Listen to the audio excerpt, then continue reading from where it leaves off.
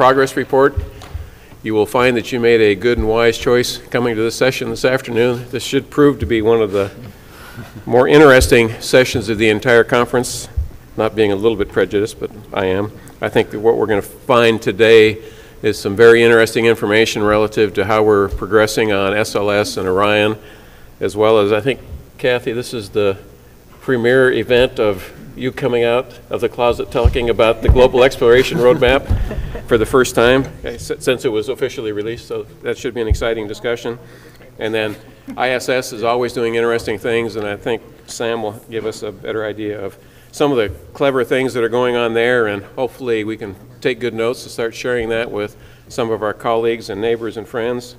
Uh, maybe do a little better job of advocating, advertising and advocating all of the cool things that we do as an industry. Just for your information, this is being recorded and will be put on the AIAA website later, so just keep that in mind. Uh, we'll start out with uh, Mark Geyer talking about how we're progressing on the Orion. Mark is the program manager on the MPCV Orion, and he's been the program manager since 2007. Prior to that, he was the deputy constellation program manager from 2005 to 2007. And then before that, worked on IS, uh, well, let's see, prior to that, he was manager of systems integration at NASA headquarters, so he had to put in his time in the, the Beltway and the logic free zone. And then also worked on ISS prior to that. Mark has a Bachelor of Science in Aerospace Engineering from Purdue and a MS in Aerospace Engineering from Purdue. Mark? Thank you, Don. Oh, and by the way, what we'll do is we'll go through all presentations and then we'll have questions at the end. So I, do I just hit the enter advance or what would I do? Ah, okay, cool. Great, down there, thank you. Uh, I thought I'd stand up, just, I feel a little more comfortable standing up talking about this. So we're gonna, I'm gonna start by, uh, we'll go over Orion, what Orion uh, is doing, um, what the future looks like for Orion, and talk a little bit about where Orion's headed. Of course, um, I really like, this is a great panel um, for a couple of reasons. One is Orion doesn't go anywhere without SLS, so Todd is a key part uh, of this exploration future, so we're working together uh, in great detail as we go forward. And also, there's actually a little piece of Orion that's related to ISS now that the now the service module is actually being provided by ESA. So there's a really big link here between these uh, different topics today. So let's see. So uh, this, you know, Todd will talk more about destinations. This is really kind of the, an Orion view about the destinations. I show uh, space station as a reference. Space station, of course, is uh, 220 miles, which is quite a ways up. When you think about the moon, it's a thousand times that distance. And then, of course, asteroids are obviously further in Mars, even further than that. Uh, Orion fits the architectures that go to these uh, cislunar space regions, including Lagrange points and including the region that this uh, asteroid retrieval mission would be a part of. I'll talk about that in a little bit. Uh, be interesting to, to uh, listen to that panel that's going to be tomorrow to talk about that in detail. Uh, Orion can go out, actually out to the actually go to the asteroids with in conjunction with the HAB module, and can go to Mars with the HAB module and other propulsion elements. And I'll talk a little bit about that. So I think the the, the key here is, and we talk a lot about affordability and a lot about how, how to keep on a path.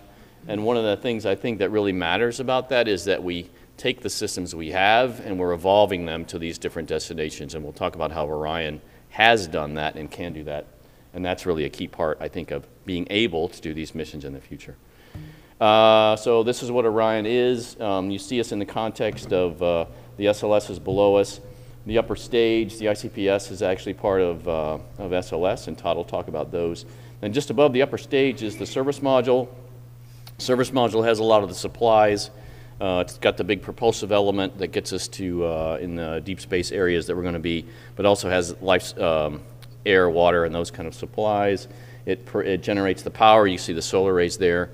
Um, and uh, basically helps us get to where we're going and give us the power to do that. Above that is the crew module. The crew module is where the crew obviously resides. That's what we call it that. It's how the crew interacts with the spacecraft. It's where their suits are, where their food is, uh, and where all the displays and controls are for the crew. Uh, and then all the systems it takes to return them safely to Earth. and you'll see a lot of that in the rest of the pitch. Uh, on the top is the launch abort system. Um, one of the benefits, uh, key parts about Orion and SLS is we can get the crew off in any phase of flight, regardless of what the failure is. We can get the crew back.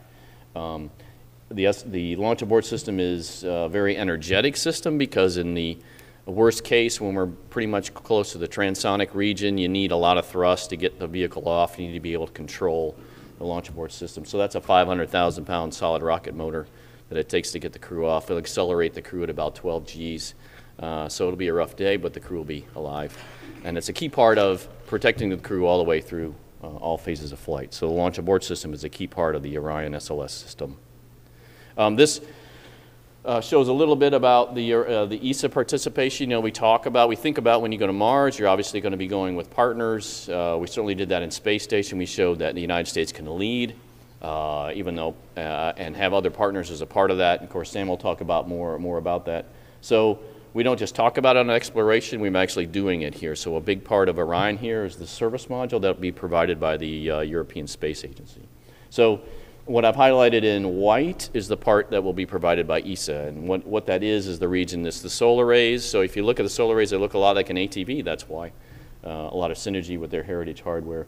They'll do the propulsion tank system, the RCS thrusters, uh, the radiators, uh, the primary structure for that area, and so forth. Uh, we'll give them the main engine. Those are OMS engines from the shuttle, so we're actually going to provide those. We're providing the aux thrusters from Aerojet and other pieces, but fundamentally that white area there will be provided by ESA. The, the black area, the darker, are still NASA Orion, um, Lockheed provided, so a lot of the stuff that we're flying on EFT-1, uh, we will use, we will keep those designs and fly them on EM-1. So now ESA is a part of the program.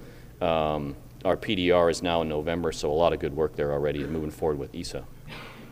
Um, we've been, you know, I call this kind of the Orion Magical Mystery Tour. There's been a lot going on uh, since we were started, a lot of changes, uh, but a lot of testing too. You think about um, all the things we did to look at landing, whether we're going to land on land or water, uh, the avionics architecture.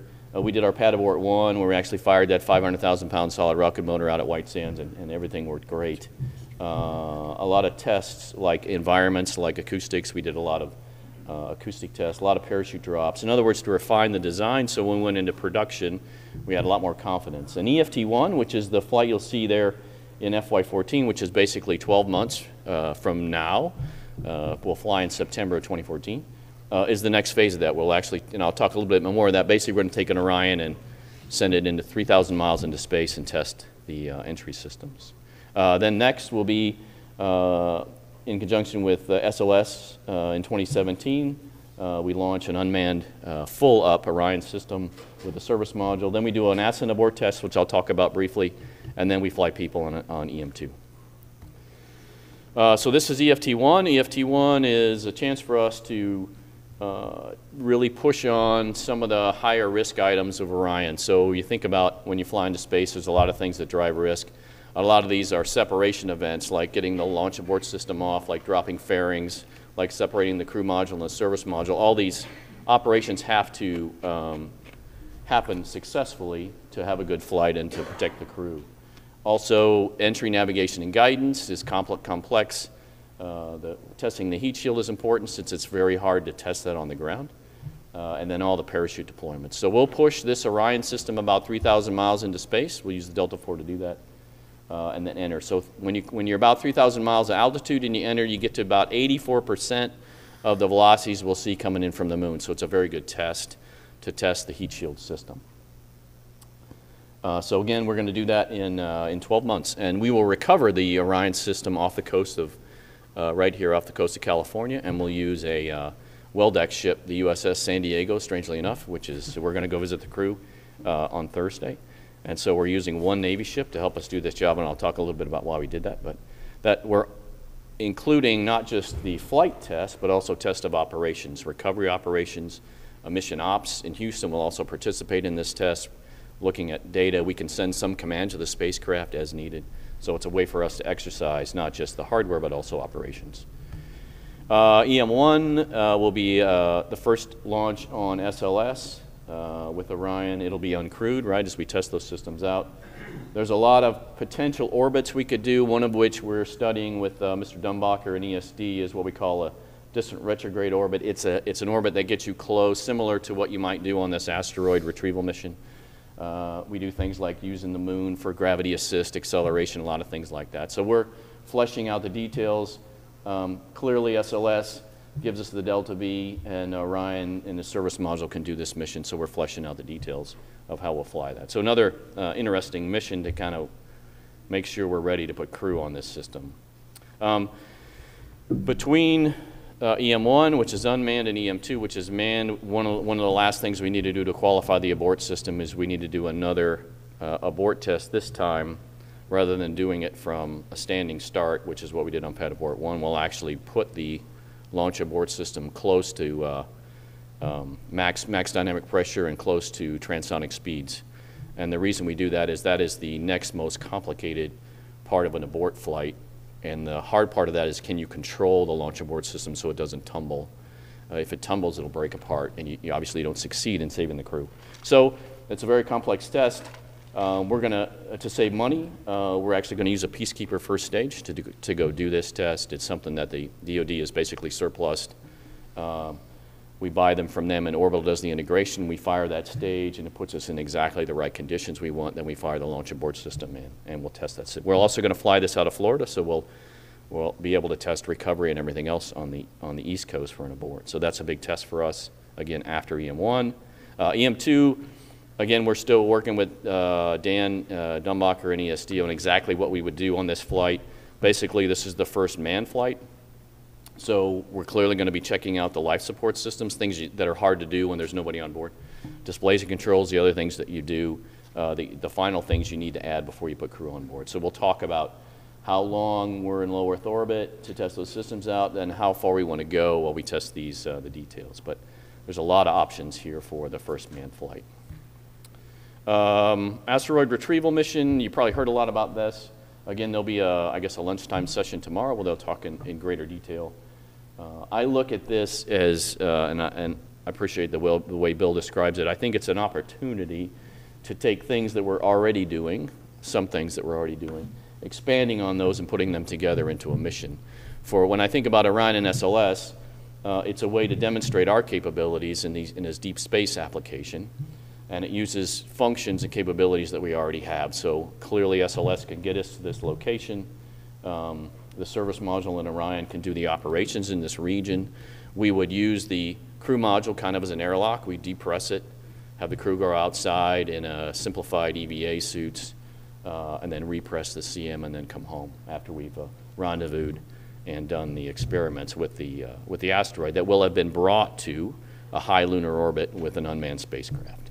So there's a lot of pieces to this about how to get the asteroid to high lunar orbit and what that unmanned spacecraft looks like. And I know, uh, I guess Brian Muirhead is on the agenda for tomorrow, so you hear a lot more about that from him. Uh, but for our systems, fundamentally, uh, it's, it's a very small putt to make our systems do this mission and fit what needs to be done. So, you know, I'm kind of excited that we have something in the near term to work toward. Um, extensibility. So that asteroid mission to me is just another example. That's probably the third or fourth mission that Orion has been asked to assess since we started. Um, and we've been able to do all those missions. Uh, when I think about, so again, saving money in the future, you want a system that can adapt to the changing political environment and changing mission uh, goals. And Orion has shown it can do this. This design has shown that it can do this. Um, as part of ideas of going to Mars. There are probably as many ideas of how to get to Mars as there are people in this room. A lot of good ideas, a lot of things to think about. The last uh, major study that NASA did looked at crew size. What would the crew size, the optimum crew size, be uh, on the surface of Mars? And you think about things like uh, system knowledge, medical knowledge, uh, international partners, and, and, so, and science, and those kind of things. And they found that the optimal crew size was about four to six people. Um, leaning more towards six. So Orion can accommodate six people. Its base diameter, we actually did, a design in the early phase that can do that. So if you're thinking about a capsule system to get people to and from Mars and, and have them enter, you want a system that you don't have to redo to add a Mars mission. And Orion, we can do that. And we've shown that with. This shows the different sizes. I know it kind of looks funny. This is the 95% uh, male and the, you know, 5% female, and that's the kind of stuff you have to do when you size the seats and so forth. You kind of have to lay it out to make sure you can handle all those variabilities in crew size. So it's not a family with three kids and the, and the dogs in the trunk, you know, so it kind of looks funny. That's how it might look. I'll speed through some of these because I'm probably. Uh, we did a big test. You know, this solid rocket motor, when it fires the, the, at the rim, it's about 180 decibels, so it's loud. And so it drives a lot of acoustic energy into the structure, which is important for us to understand when we're designing the, the components. So we did a big acoustic test out at Lockheed. Uh, we did a lot of parachute drops. Parachute system is very hard to model. Um, a lot of interactions, so we do a lot of failure testing. We fail chutes, we fail drogues, just to make sure we understand how the system will operate. Uh, we did drop tests in the water because water interacting with the structure is, again, hard to model. It drives mass in the system if you have a lot of uncertainty, so these tests have helped us really refine the structural thickness, for example. This is a picture of, of how we're going to do this, well this recovery with the Navy. They're going to use what they call a well deck ship. Um, these ships exist. Obviously, they use them for amphibious operations. They have them on the East Coast, West Coast. Um, what we'll do is, is recover the Orion and, and bring it into this flooded well deck, and then they'll drain it, and the Orion will be sitting on this uh, structure that's kind of in the middle there. So our concept today is that's actually how we would recover the crew. So the crew never has to get out of the capsule while they're in the water. Uh, it's a very safe operation. So this was a test we did in Virginia with the same kind of ship, but we'll be using the USS San Diego uh, a year from now to recover it. And uh, so we'll talk to the crew on Thursday. Uh, so, you know, why is, a, why is a crew module so hard to build? You know, why is it difficult? Well, this gives you a sense for the complexity of the systems. This is the exterior of the crew module itself, and you see the thrusters. It's a little hard to see uh, probably from the back there. But there's 300 tube welds. Okay, thank you, Tom. Right there. Yeah. So there's 300 tube welds. Let's see, anyway, a lot of welds. Uh, 250 harnesses. Uh, you see the thrusters. Here's the hydrazine tanks. Here's a helium tank. Uh, a lot of valving. Um, incredible amount of work that goes into the, a system like that to make it fly. Uh, this is looking from the top. And so this is where the, the parachutes go in these locations. They've been delivered to the Cape. These are pitched down uh, thrusters, so a lot of work going on there. Uh, this, this is a back shell template. This, I, I liken this to building a house, and when you put the drywall on, you go, oh, that's how it's going to look. So kind of same kind of thing. These are templates for the back shells, which are made of composites, where we put shuttle-like tiles on them, because on the back shells, it doesn't get as hot as the bottom. So we can have lighter tiles. They're actually better for MMOD as well. So this gives you a sense what it's going to look like when those come together. Another RCS pod. Uh, the heat shield. So the heat shield not only has to account for 5,000 degrees when you're coming in, but it also has to handle the impact, the, the structural impact, landing loads when you hit the water. And we have to accommodate different wave heights, and we have to be able to land also if we fail a chute. So there's a lot of different load uh, cases that we have to do. So this structure of the heat shield, primary structure, is a big piece of, uh, of the of how we protect the crew. And so this gives you, this is a titanium stringer system, and you can see how it's biased toward, this is the direction in which we're going to land. So it's much, a lot more stringers here than here. So that shows you how we've already optimized for the direction of landing to minimize mass and still protect the crew. Uh, this is actually the ablator part, which is mounted to the composite uh, below it. So this is an Avcoat um, ablator that's installed in uh, Boston. So we finished that entire system. It's being cured, and now we're machining it down to the, abs- the, the uh, fine, uh, the absolute depth that we need that we've modeled for the flight. So that heat, that uh, heat shield should be shipped to the Cape in about 50, um, 45 days. So another big piece. This is something avionics guys love to see. The rest of us go, what is that thing? Um, but this is the lab. This is the avionics lab in Denver. So right there is the uh, engineering development units, all the flight computers, and they're actually cooled uh, on cold plates, just like they would be in, uh, in Orion. This is the uh, communication and tracking booth, in a sense, shielded there. So we test all the phased array antennas and so forth in here. And then all these connections are, of course, all the EGSC that makes it work. So we run all the flight software there. It's fully functional now, and we're actually running all the performance cases uh, for EFT1, and, and we're actually tied back to both Florida and MOD, where we're, they're tracking that, uh, the telemetry. Uh, we delivered the flight computer, so that's it. Um, they're standing next to it. They're not allowed to touch it there, but it's there. Uh, that's the crew that made it. So our flight computer's been delivered. These are uh, power distribution units.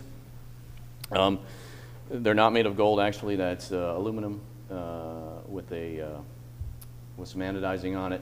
These units, uh, we took the functions that would normally be distributed, your power system, your prop system, your, your ECLS system would normally have their own processors. But if you do that and you're flying to the moon, it's costing you a lot of power, a lot of mass. So we take those functions and synthesize them into these power distribution units. So it's a great idea for power and mass. It's a highly complex integration problem to take, and plus they're all different subcontractors, so we're taking those functions and bring them into these boxes. Um, uh, an example, one of these boxes has 16 cards. One of the cards has 3,000 parts on it.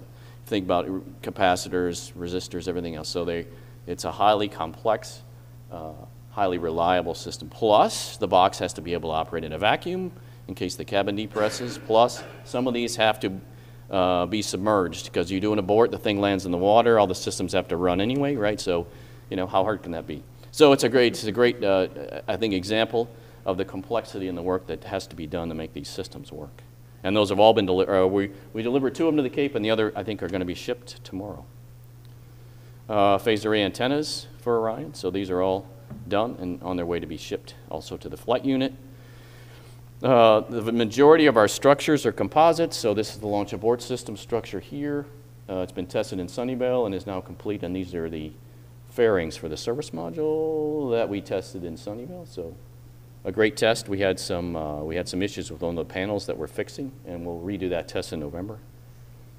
Um, something I think people don't recognize is we, uh, as Orion, as a government program, uh, we create and generate a lot of data that's useful for us, but we also provide it to the commercial crew providers because it helps them uh, in their systems and they do not then have to recreate that data. So there's a lot of things relative to parachute testing that is directly applicable to them. Things relative to land landing, water landing studies that is directly applicable to them, as well as things like aerodynamic databases and so forth. So we provided hundreds of reports and test data uh, to the commercial crew providers. So it's just another offshoot of us doing exploration we develop systems that they can use uh, to make it cheaper for them to provide the services we need to space station. Um, and then we were in the parade. There's the president, I think. Astronauts waving, you know, so it was exciting. Anyway, so that's, uh, that's where Orion is today, and uh, I'll be looking forward to your questions. Thanks.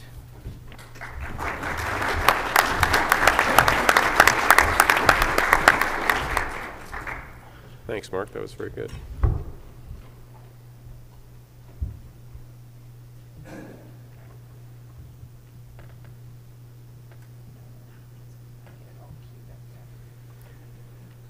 Our next panelist will be Kathy Laurini. She is the Senior Advisor within NASA Headquarters Human Exploration and Operations Mission Directorate, where she is a leader in the development and implementation of strategies and plans for international partnerships in space exploration, better known as Global Exploration Roadmap. She also supports International Space Station program efforts to use the ISS to prepare for exploration. Since 2005, Kathy has been involved in NASA's human exploration effort, including roles as program manager for the Human Research Program and project manager for Altair Human Lander Project.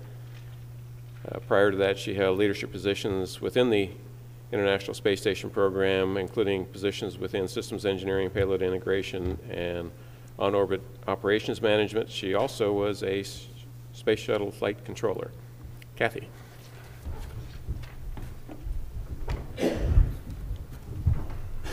Thank you, Don.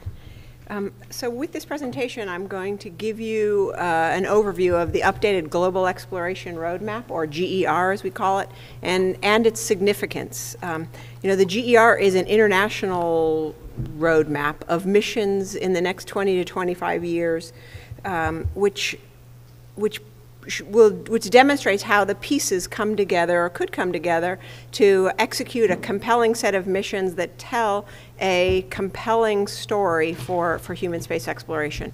It's the result of a, of a, of a work by a number of space agencies um, that reflects really the, the, the collaborative planning of, of our next steps in, in human space exploration. Um, and when I talk about this, showing you how the pieces come together, the pieces I mean are the pieces like Orion and, and SLS, which you're, you're going to hear about today, but also the constraints in which we're living. So things like uh, affordability and the importance of the international partnership international partner. So hopefully what you'll see in this roadmap is, is a, and what you'll get from this presentation is an understanding of, of how these pieces and these constraints can be put together and really um, show a, a compelling story for, for the next 20 years of human exploration. So, so why did NASA and its partner agencies release this document? Why did we um, put effort into uh, a nice glossy brochure and, and distribute it? Well, there's a couple of reasons. Um, the space agencies want to use it for uh, stakeholder engagement. You know, the, the, the fact is most of the human missions in the document are conceptual missions and need funding uh, commitments to realize these missions. So the fun, foundational capabilities of, of Orion and SLS are there, but other capabilities will be required to realize these missions. And so the document provides a good basis for stakeholder engagement. And also the second reason why agencies went to the trouble of, of, of putting the document together and releasing it is to, is to stimulate discussions with the broader exploration community, like the kinds of things that go on here this week, to help make sure that the best ideas, uh, uh, good ideas, are, are brought to bear in informing the planning of governments going forward. So, so that's what I'm going to try to do with this presentation. So the Global Exploration Roadmap is a product of a group called the ISEG, International Space Exploration Coordination Group. It really should be thought of as, as a number of agencies. And as, uh, as the NASA lead to the effort, I'm, I'm, uh, I'm also the co-lead of the, of, the, of the team that produced the roadmap. Uh, so just an introduction. This is the cover. Um, it was released, an updated version was released in, in August uh, last month. Um, it, it is a human space exploration roadmap, but it recognizes that exploring destinations where humans may someday live and work um, brings some natural synergies with robotic exploration. So asteroids, Moon, Mars, there are there's scientific interest, robotic interest in these destinations, and it makes sense to build on these synergies.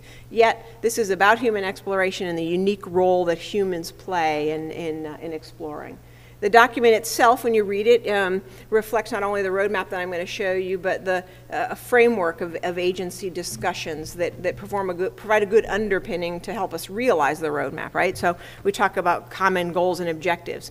We want to make sure that as a, as a set of agencies, we have enough commonality of our goals and objectives, both long-term and near-term, to make this a whole, you know, collaboration effort worthwhile. We talk about the long-range mission scenario or the, or the, uh, the the roadmap really itself um, and the architectures that would realize it. And lastly, we talk about um, near-term opportunities for collaboration, coordination, ways to leverage the money that we're all spending around the world to prepare for future missions. How can we make sure that money goes, goes the furthest and uh, create partnership opportunities along those lines? So main messages of the document, I hope if, if you've read it, what some of the main, main messages that you've taken away are are, are, are, these, that, that sustainable human space exploration will be an international endeavor. I think Mark mentioned it when we go to Mars, it will be international. And our, our partners, our partner agencies um, look forward to playing critical roles in, in Mars missions and, and to build the robust, reliable capabilities that will enable those critical roles is, is what this, these next missions are, are about for many agencies. So as an international roadmap, it follows a path that enables multiple agencies to play critical path contributions. And that's what we're going to need in order to realize these, these uh, missions to Mars and, and, and, a robust, sustainable deep space exploration effort. Um, another big message from the document is that um, near-term missions in the lunar vicinity um, provide not only a great opportunity to demonstrate capabilities and their reliability, but also to execute compelling missions. So this is the part I, I, I, I um, uh, I mentioned in the beginning, we're trying to show that these capabilities um, uh, can can be uh, brought to bear in, in, a compelling manner to achieve a, a, range of goals and objectives that are important over the long term for agencies, but also near term. Um, and so the mission, there's three mission themes that are defined in the document. First one is the uh, exploring the near-Earth asteroid, and this is NASA's asteroid redirection mission. So bringing the asteroid back into the lunar vicinity and, and having the opportunity to explore it. And the document, I'll talk a little bit more about it. Um, extended duration missions in the crew vicinity. This set of missions is involve, involves early deployment of an evolvable deep space habitat in the in the cislunar space, so the crew can go and spend, spend extended duration times there to, to learn how to op, learn how to work and, and live uh, beyond the comfort of low Earth orbit. test and integra- integrated life support systems in a more, in a, in a, in an environment of deep space, those kinds of things. And lastly, lunar surface missions. You do see lunar surface missions in the roadmap. So um, uh, getting the crew from the evolvable deep space hab, which would serve as a staging post to the surface of the moon, is an important opportunity for many agencies that, that haven't been to the surface of the moon, not only to achieve high priority exploration objectives, but also to demonstrate capabilities that would be contributed to, to uh, to, uh, to future missions. So when, when NASA rolled out the roadmap and announced it, we were careful to say this roadmap doesn't imply that, you know, now we're ready to say we're going back to the moon, but it does recognize that human space exploration will be international, and, and we, we know that, and, and we have partners that not only have a desire to explore the moon, but see the moon as a good way to advance capabilities, and, and, and as they um, use this document as as a tool to increase the, the support within their governments for funding contributions to lunar missions. NASA's certainly going to participate. We're not going to you know, sit back and read about it in, these, in the news. It's part of our, our human space progr programs today are, are pretty intertwined, right? Where we go, um, uh, building off of space station is someplace we'll go, we'll go together. So, uh, so we, um, we show lunar surface missions for, for that reason. Um, and, and lastly, you know, another message is there's, there's a lot of missions. It doesn't mean we're not, the, the roadmap isn't a, a monolithic program saying, you know, we should all sign an IGA instead of MOUs to realize all of these things together. It's, it's a series of missions that some agencies will partner on some, some will partner on others, some will partner on certain capabilities like Orion, some will partner you know, in, in other capabilities. And, and the, the, the, the partnerships that realize a roadmap such as this are going to be, uh, are going to be bilateral and multilateral. So just to talk to now, now I'm going to set up the roadmap itself, the, the scenario, the mission scenario, if you will, itself. Um, we say it responds to a long-range exploration strategy, a strategy that all, agencies um, have have embraced, and one that was we have embraced since the beginning of this road mapping mm. effort when the first GER was released a couple years ago. But the strategy is a, a common belief that you know, everything starts with ISS. It's the foundation of exploration. It's an incredibly important platform not only for general research, um, using its unique environment, uh, but it's also a, an excellent place to prepare for exploration, not only by doing research and technology demonstrations, but also to evolve the critical capabilities um, to uh, enable um, supporting more ambitious missions. So starting with ISS, expanding human presence into the solar system with a long-term goal of, of humans on the surface of Mars. Um, Mars is an easy, easy goal for everybody to agree to long term. We use it as a driving goal in the near term. The roadmap doesn't go all the way to Mars, but as a common driving goal, um, it's very useful. Uh, and so the strategy also includes the, some, we call them driving principles, but these are key strategic principles that were the result of a lot of discussion within agencies that um, that, that basically reflect the environments we're all in today, and it reflects what we believe are the characteristics of, a, of not only a sustainable program, but a program that our governments will want to invest in. So things like affordability, um, making, you know, if, if we, if we um, pr propose a roadmap that requires everybody's human spaceflight budget to be doubled, it's probably not going to be a realistic roadmap. Um, so keep in mind that there are, there are budget constraints that we're going to have to live with. Um, value to stakeholders, delivering benefits. This is essentially important. It's a key driver to all of our stakeholders around the world is, is we invest in space to bring benefits to people on Earth, and agencies have, uh, have the ability to deliver these benefits with everything they do, from not only executing the missions, but the preparation for the missions, the, from you know, exposing kids to uh, uh, you know, an astronaut training session or, or, or technologies that are used uh, that may never fly that, that, that, that can be applied elsewhere on the ground. There's things that we, we do that, that drive benefits. We need to be keenly aware that, that we, you know, it's, it, it's, a, it's an important obligation we have and, and whatever we do needs to respect that the international partnerships. Um, as, as I said, you know, our human spaceflight programs today are, are intertwined with uh, with the space station. And as we go forward, we're planning collaboratively for what we do next. Um, uh, the, the, the important uh, a, a partnership will be successful if there are critical and early and visible roles for, for all the partners. So trying to find ways that, um, that not only build on the partnership, but, but uh, uh, offer opportunities for the partnership to increase as we go forward is important. Um, capability evolution is, we talk about it a lot in the U.S. as capability driven. Capability evolution is, is the same thing. It's how we refer to it in the international community, but it means a, a stepwise development, evolution of capabilities. Don't, don't look at what you need for, for, uh, for Mars and then sit down and design it. Recognize you're going to get there best by, uh, by evolving the capabilities that you have today and, um, and enabling a greater set of missions to be accomplished along the way. So the stepwise provision, building on the capabilities that everybody has. The, the human robotic partnership, I mentioned it before, but it's something that's very important to keep in mind and to keep looking for meaningful opportunities. You know, it's, it's important and it's, it's hard if you're on the robotic side, um, you know, science side, you've got funding for missions and you've got well-established processes that involve peer review and, and decision making and and, uh, and now these human guys that don't really have anything but long-term dreams want to talk to you about specific collaboration initiatives. You know, you, you got to find the real value-added uh, um, opportunities for building the synergy and collaboration. Um, everybody, both sides know it's there, but finding the right ways to do it, to pursue it, is, is what we're is um, is what we're, we're trying to promote.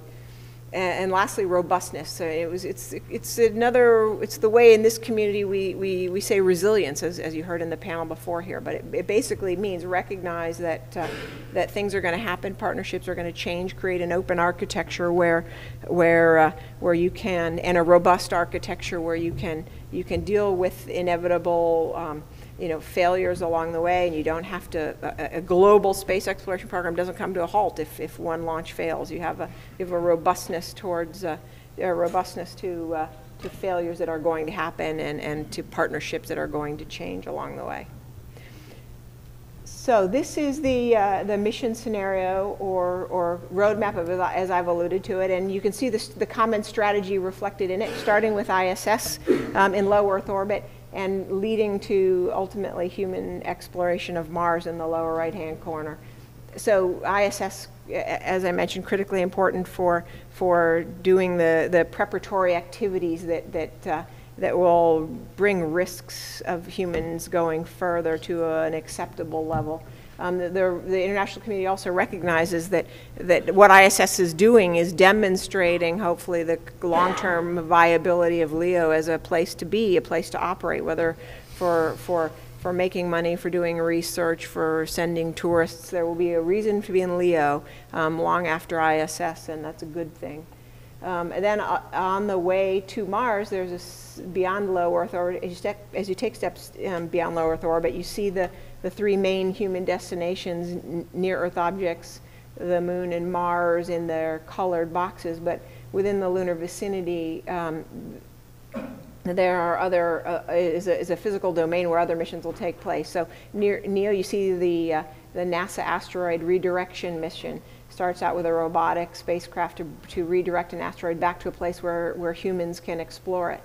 Uh, then the lunar then then you see those missions are, are leading into and uh, informing and also followed by some missions in the lunar vicinity to uh, to an evolvable deep space hab, which is initially deployed to into cislunar space and one that can allow the crew to go for increasingly longer durations, um, do things like perhaps a human-assisted sample return, uh, lunar sample, perhaps even a Mars sample um, and uh, providing uh, a, uh, as serving as a staging post for later human access to the surface of the moon. So the idea being that uh, um, with an architecture like this, you more simulate a, a, a, Mars mission architecture as well. So the kinds of capabilities that partners are, are advancing and demonstrating in an architecture like this will be better, will, will play forward um, in, a more applicable manner for future Mars missions.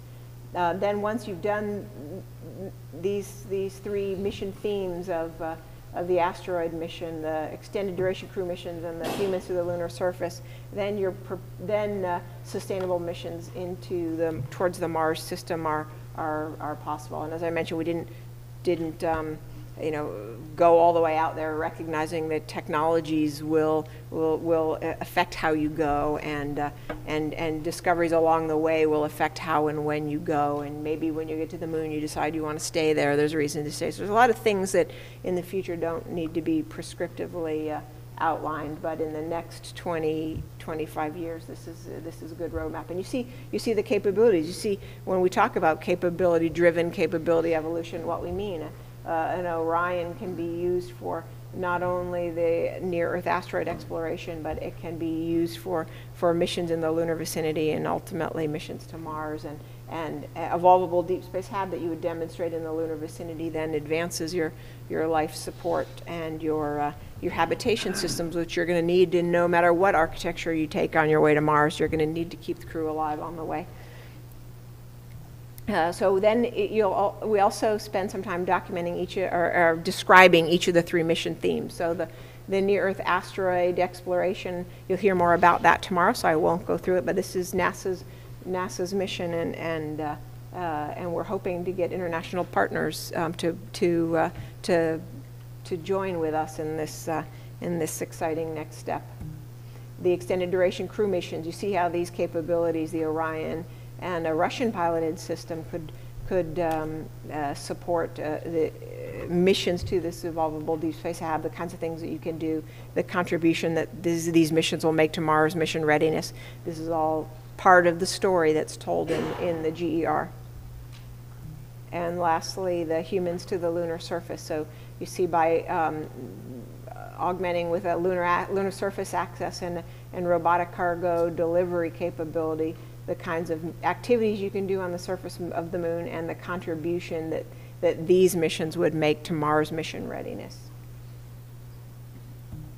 So th- this is a chart that we hope kind of replaces the one from the original GER. You saw the two pathways, you know, moon next, asteroid next, the theme from the first GER. Um, with this unified plan, we hope that it is really the big step in, uh, in, in advancing our, our, our international planning effort and, and, and focuses in on really these big themes of ISS and the importance of ISS, the ro- robotic missions that are happening and the real opportunity that they provide to discover and prepare, and then the human missions beyond low Earth orbit and, and how each one of these in the, uh, in, in the lunar vicinity prepare you to go further toward the, the the ultimate goal of humans sustainably to the surface of Mars. So, in conclusion, uh, I'll, I'll just reiterate. So, with this, with a with a document like this, uh, all the participating agencies can um, can help stimulate and inform internal studies and internal stakeholder discussions on on what possible role they could play and how near-term and potential future contributions will help play a role in in help them play a role in enabling uh, future missions to Mars. Um, the, the GR articulates the, the benefits of space exploration, not in a very um, elaborate way, but just to help reiterate to everybody in, in this community the importance of, of delivering benefits um, and, and understanding how to best communicate the benefits that we expect through these missions um, uh, just to help us with our with our stakeholder advocacy efforts, right? I think um, uh, the better we're all able to uh, to communicate expected future benefits, the better we're all able to to get the funding and longer term support that's needed to support these uh, these kinds of missions. Um, so benefits like knowledge that uh, uh, that we have gained from past missions um, has driven not only scientific but technological innovations that contributes to new products and services on Earth. So when you explore, you learn things, and these this information uh, is uh, really benefits people on Earth through through its its application in, in not only space-based services but other services. Um, the cultural and inspirational aspect aspect um, to people on Earth. You know, the, the, the Apollo 8 image of the Earth, the, the modern day equivalent from the Kaguya of, of Earth from the, the, the horizon of the moon, just show you um, how the, uh, the, the exploration of space and the intangible impact that it has on, on, on creating future innovators and, and future scientists and engineers. Uh, And then uh, overcoming the- the the partnership aspect. So as we work to overcome the challenges that, uh, that are there in exploring space, um, we build the partnerships um, that allow us to, to, uh, to know each other, but, and trust each other better, but also um, uh, have the partnership, have the capabilities to solve global problems in a, in a global way. Uh, So lastly, I just want to reiterate that, that NASA, as well as our partner agencies, remain committed to using this document as a way to stimulate discussion with the broader community on, you know, what, what's, what's good that's in here and what, what can be improved, and how can we um, take the best ideas out there to really inform the, the strategic planning effort. Um, You know, the, the, the time is now to, to collaboratively plan with our partners. um, uh, who are, uh, you know, key stakeholders in this activity, and, uh, and a document like this and engagement with the, with the international broader space community, something everybody's interested in doing, and, uh, and we, we, like with the first roadmap, we're sure that, that that engagement will, will, uh, will make the next version, of the next iteration of the document even stronger, and hopefully the one that has all the government signatures on it, um, so we can go do all these uh, exciting missions. So um, thanks, and I'll look forward to your questions. Thanks, Kathy. Thank you, Kathy, that was very good.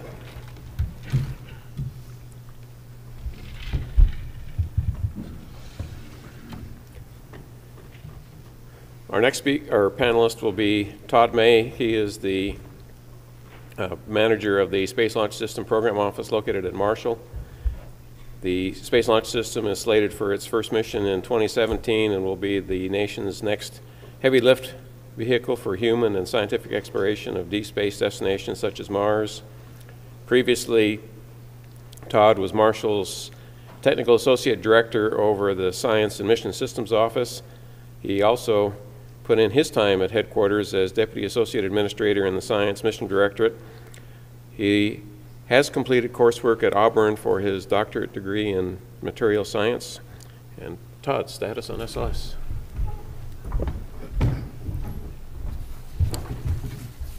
Thanks, Don.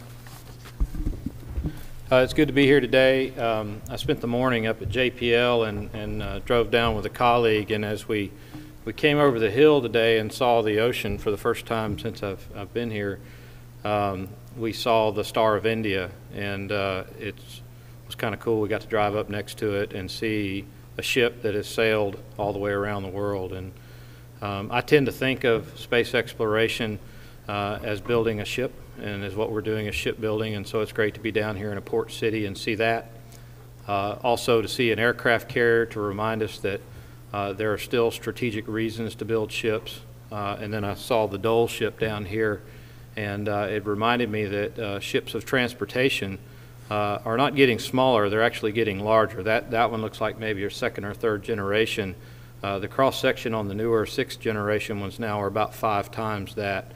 Um, And so if we're going to move out into space and we're going to move things around, um, we're going to need uh, big transportation to do that. So I want to talk to you today about what we're doing on that front. Uh, Kathy covered, uh, I thought very well, the, the Global Exploration Roadmap. This is uh, kind of a way that, that we've been talking about rationalizing uh, where we find ourselves the, these days uh, in with respect to human space flight, and and I, and I kind of like to, to use it in a way to differentiate the various regimes of, of space.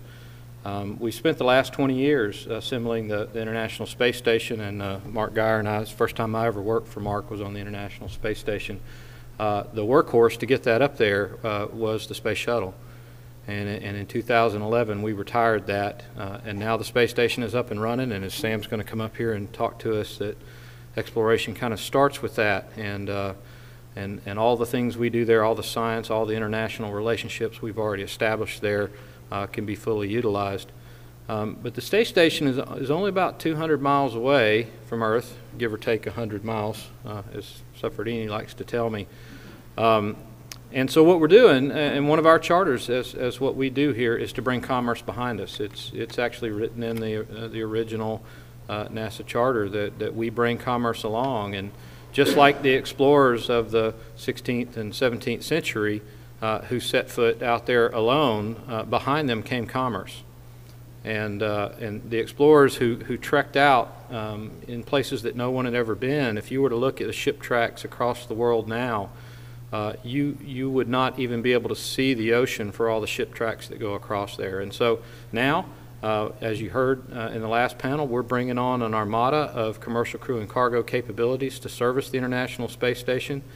It's a great bulwark up there uh, in space from which we can foster that environment. And NASA's going out, and, and I, again, it's football season, so NASA's going out for the post pattern. We want to go deep again. Uh, Kennedy called space uh, the new ocean. And so we want to go out deep into the, into the islands of space, and, and Kathy talked to you about those places. We're talking orders of magnitude. If you look out there, Mark mentioned that, that the moon is three orders of magnitude further than low Earth orbit. You go out um, another order of magnitude uh, to get to the asteroids we're looking at, another order of magnitude to get to Mars, uh, and then another order of magnitude uh, to, to the moons of Jupiter. Um, and so we're really talking um, the deep space game here. And I, and I mentioned uh, to you that we differentiate a little bit from the current commercial market. You can almost see a dividing line down the middle of the page here. Um, the capability we're talking about building is really back to an exploration class uh, launch vehicle, and it, and it takes uh, a large launch vehicle to explore into, into deep space. And so, uh, and so we're, we're, on, we're on our way to do that.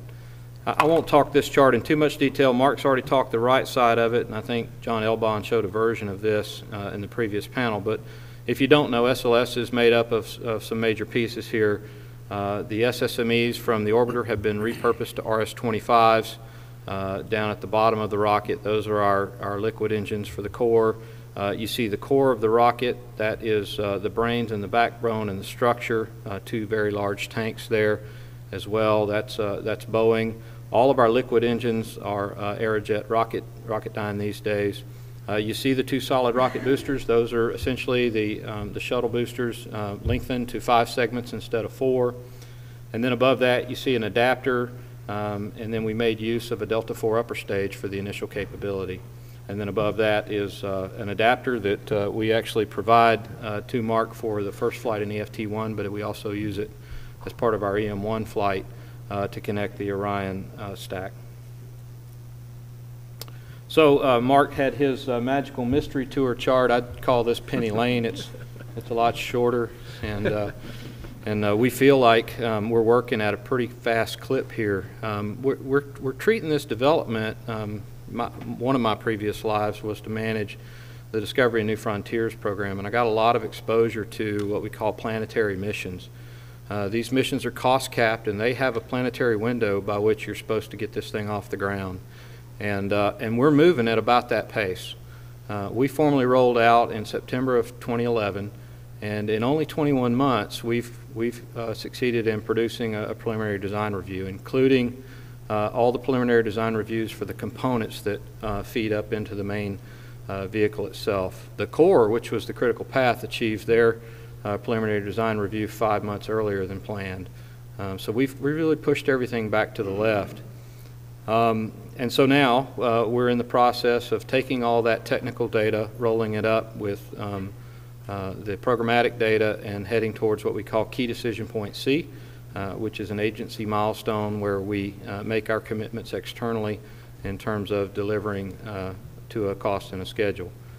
Um, as we move into um, the rest of this year, um, things are going very well down at Michoud our critical path hardware-wise actually flows through the buildup of the core, and we've got four of the five major tools already installed and producing hardware, uh, and you'll see a picture on the next page. The, the fifth one um, actually uh, is going to be the tallest welder ever built. It, it, it will have a, 200, a 2 million pound uh, head on it, 165 feet tall, and will have placement accuracy to a thousandth of an inch. Um, this thing is uh, really interesting in terms of what you have to do for a foundation. Um, the tallest building down in New Orleans is the, is the Shell 1 building. The foundation for this tool is as strong as the foundation for that entire building. So if you ever want to build the, the next tallest building in New Orleans, uh, we know where you can put it. Um, The tool itself, uh, that fifth tool, is actually uh, going very well. Um, They've been doing a lot of confidence um, testing of the tool itself. They've passed the 100% design and gotten it, pieces put together. Um, The, the, we've had a little bit of a trouble, um, on- and, and it's been a critical path thing that we've been watching on the uh, actual drilling uh, to put the pylons in, and, uh, and now we're, we're actually, to make some of that up, we're actually pouring concrete round the clock.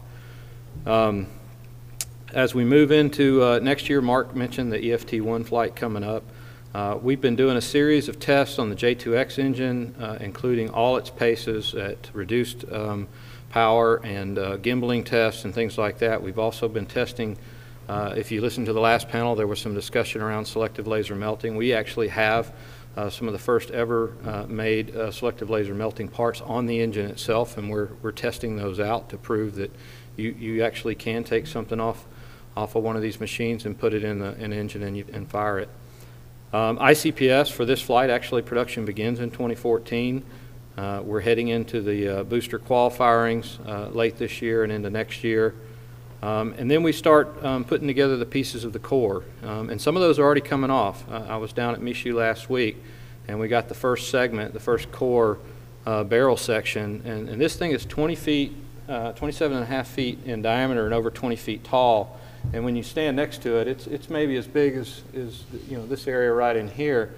And you realize that seven of those stacked up makes a core. Um, because you got seven of those, and then you got end caps on either one of those in the inner tank, so the equivalent of 10 of those uh, make the actual core height. And you start to get a sense of the scale of, of what we're talking about.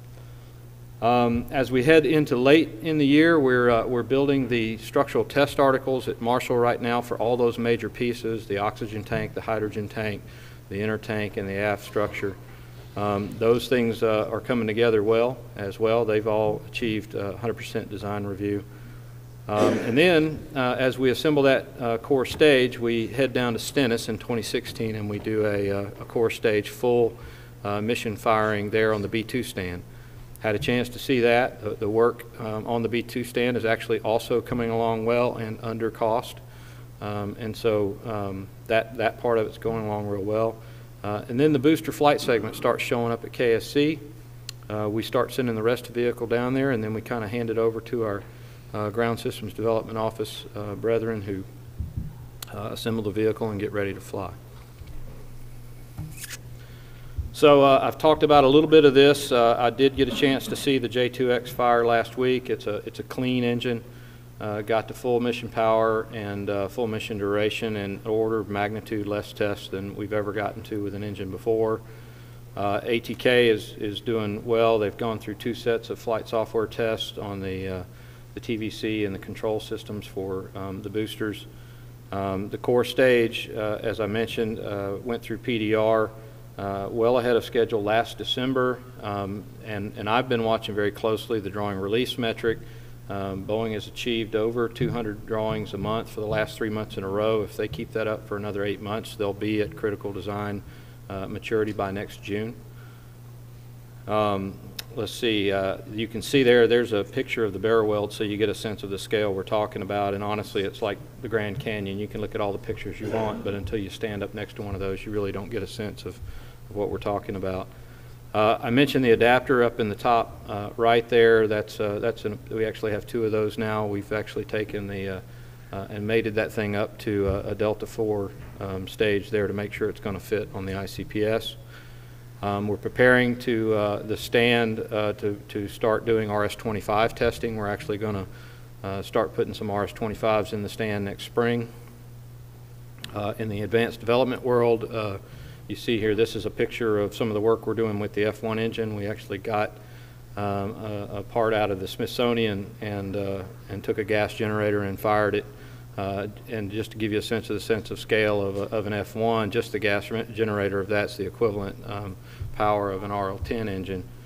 Um, and then down on the bottom right, I mentioned SE&I and the, the, PDR we pulled off. Gary Lyles is our chief engineer, has done an exceptional job, I would say a phenomenal job managing the integration of the vehicle um, and, and pulling off a, a great PDR. Um, I'll tell you, just to be frank, we, we didn't get off without any um, what we call review item discrepancies out of the out of the PDR, um, but, but I will say it's an order of magnitude less than what we've dealt with in the past. Uh, I worked the man-tended capability PDR for Space Station. We had over 3,000 RIDs. Um, I think on uh, Ares, we had several thousand RIDs. We, we had 150 RIDs uh, on this, and we had over 700 people review the data. Um, this was a clean data pack. It was over 15 gigabytes of data, um, and so um, it, it, the vehicle uh, is very stable. We do have some issues, and, and I'll, be, I'll speak fairly freely about them. Uh, we have some loads issues. Um, one of the things is that we're using heritage hardware. That was a way to avoid development costs. Uh, but when you use those in a new environment, um, they actually become constraints on the systems engineering process. And so one of the things we had to do uh, was not flow down some of the loads that we were getting out of the DAC2 uh, to the elements to give us a chance to work on those. And I'm pleased to report some of the some of the biggest issues we were seeing. We've actually gotten back into the wind tunnel now and have fairly simple design fixes. Um, for example, uh, where the uh, booster's attached to the core, we had some transonic buffet going on where it flutters. Um, we've actually been able to go back into the wind tunnel with three separate designs, one of which is as simple as putting a small fin above it. Um, and we've done sensitivities around it that show that just sticking that fin on there solves that problem. Uh, another problem is lateral loads on things like the ICPS and on Orion itself. It turns out if you put a vehicle stabilizer on the rocket and don't drop it until T0, you can get rid of a lot of those issues. Uh, we had some acoustic issues in some areas. It, it turns out that uh, doing some more analysis there, we've kind of isolated that down to the intertank region. Um, and it looks like we can just put some isolators on some of the boxes to take care of some of that. We can put some blankets in the LVSA and the ICPS area um, to mitigate that. So these are not uh, huge insurmountable problems considering that we're frankly building the most powerful rocket ever built. Um, let's see, um, the engines, the RS-25s were designed for the shuttle. Um, it turns out that uh, uh, our um, LOX is delivered um, much more efficiently than the orbiter uh, and the external tank system did uh, to the engines, so the, it actually uh, arrives a little too cold, and so we've got to figure out how we're going to slow that down, or we may even have to put heaters on the downcomers to, which is something that doesn't make sense, right? You cool it down and then you heat it back up before you put it in the engine, but um, you know those are things we're going to deal with, and, and they're not huge issues.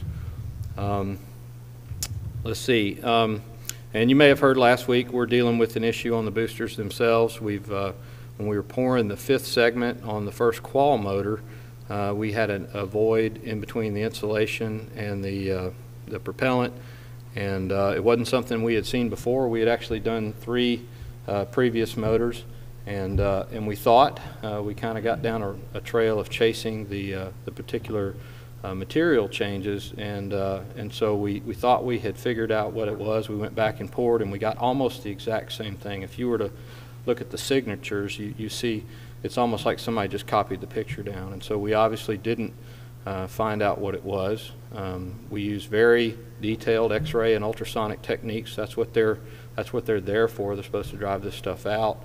Um, so we have team uh, uh, uh teams from uh, around the country um, descending now on this problem and solving it. And, and I guarantee you, we're gonna we're gonna whip this thing. Uh, it's not on the critical path. Um, it's it's not near the critical path. It's something that we can we can deal with, and uh, it's not something I personally am, am, too worried about, and neither is Gary. So uh, those are really the, the, the, issues that, that we see right now coming up. Um, none of those are keeping me up at night. Um, I would say the, the largest uh, um, issue is more of a programmatic thing, and it's around the budget. Um, and, and frankly, around budget uncertainty. Um, and, and, you heard some discussion in the previous panel. I think uh, Bill Gerstenmaier said it uh, correctly that uh, um, it's one of those things where um, it's, it's tight. It's always tight. This is a large major development. Uh, being a, a, Navy town, we know about Rickover here, and he talked about real reactors and paper reactors. Um, we're building a real big rocket here, and, and this is hard. But, I, but I'll tell you, this isn't my first program, and, and every planetary mission I've ever worked on was tight. There never seemed to be enough time or enough money to do it. But um, out of that necessity and knowing that this is what we have to do becomes innovation. And I'll tell you, we're so far we have met the challenge. Um, we've done everything we can do to keep this thing on track, And, uh, and I will tell you that, that I cannot be more proud uh, of the team. Of, of, and a lot of you um, have folks, a lot of you out here have folks working on this team uh, across the board. These folks are, are rising to meet every occasion. Um, so we're doing our part. Um, and we just have to wait and, and let the appropriations process work itself out. I will tell you, I've been at this program now for just under three years, and every year, um, it, when all's said and done, we've got what we needed to get, uh, get the job done. So uh, I'm here to tell you we're on track for 17, um, and we'll see. We'll see how things work out. So I think with that, um, I'll get off stage. Thanks. Good job, thanks,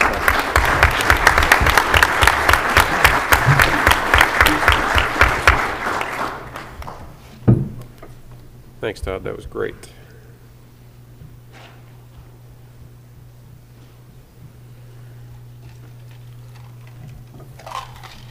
Our final panelist is Sam Scimemi. He is the director on the ISS program.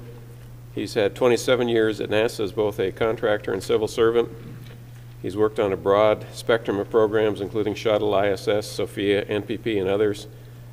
He's also moved around a lot, more than I realized. He's had a broad experience across the entire NASA, JSC, Ames, Goddard, and currently at headquarters.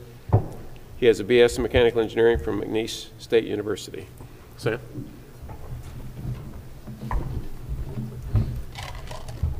Thanks, Todd. Um, Since Todd brought up boats, uh, if anyone's interested, the uh, Lady Christine that's parked right here at the super yacht, it's on sale for a cool $45 million. That's $10 million off the list price. And it does come with your own private helicopter, so uh, get your bids in today.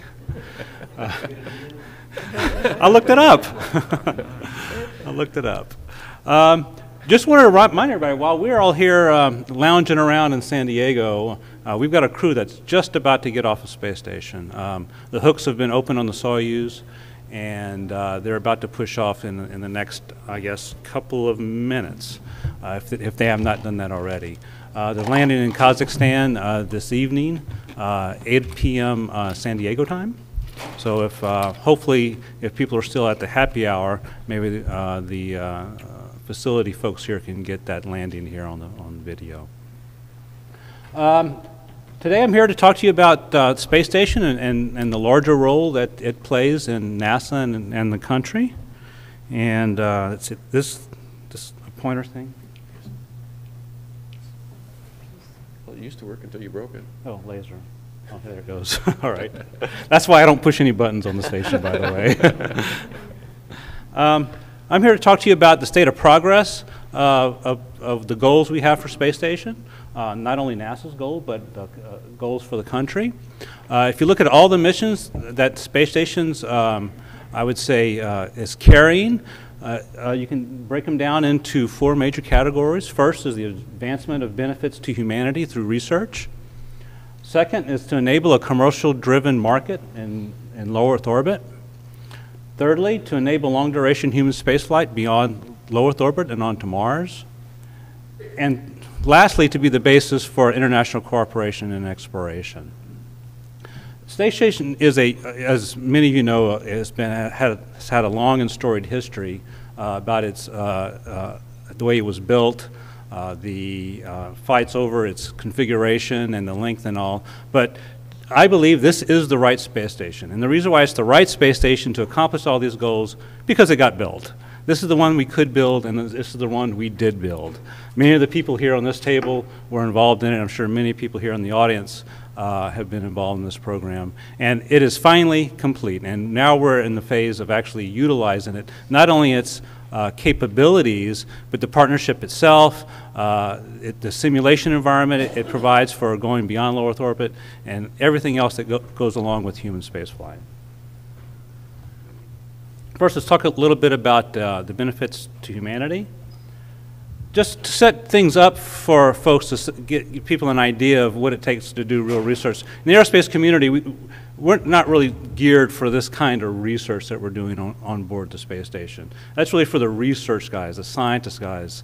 Uh, so we've had a really hard time in, in the space station program trying to explain what it takes to do research.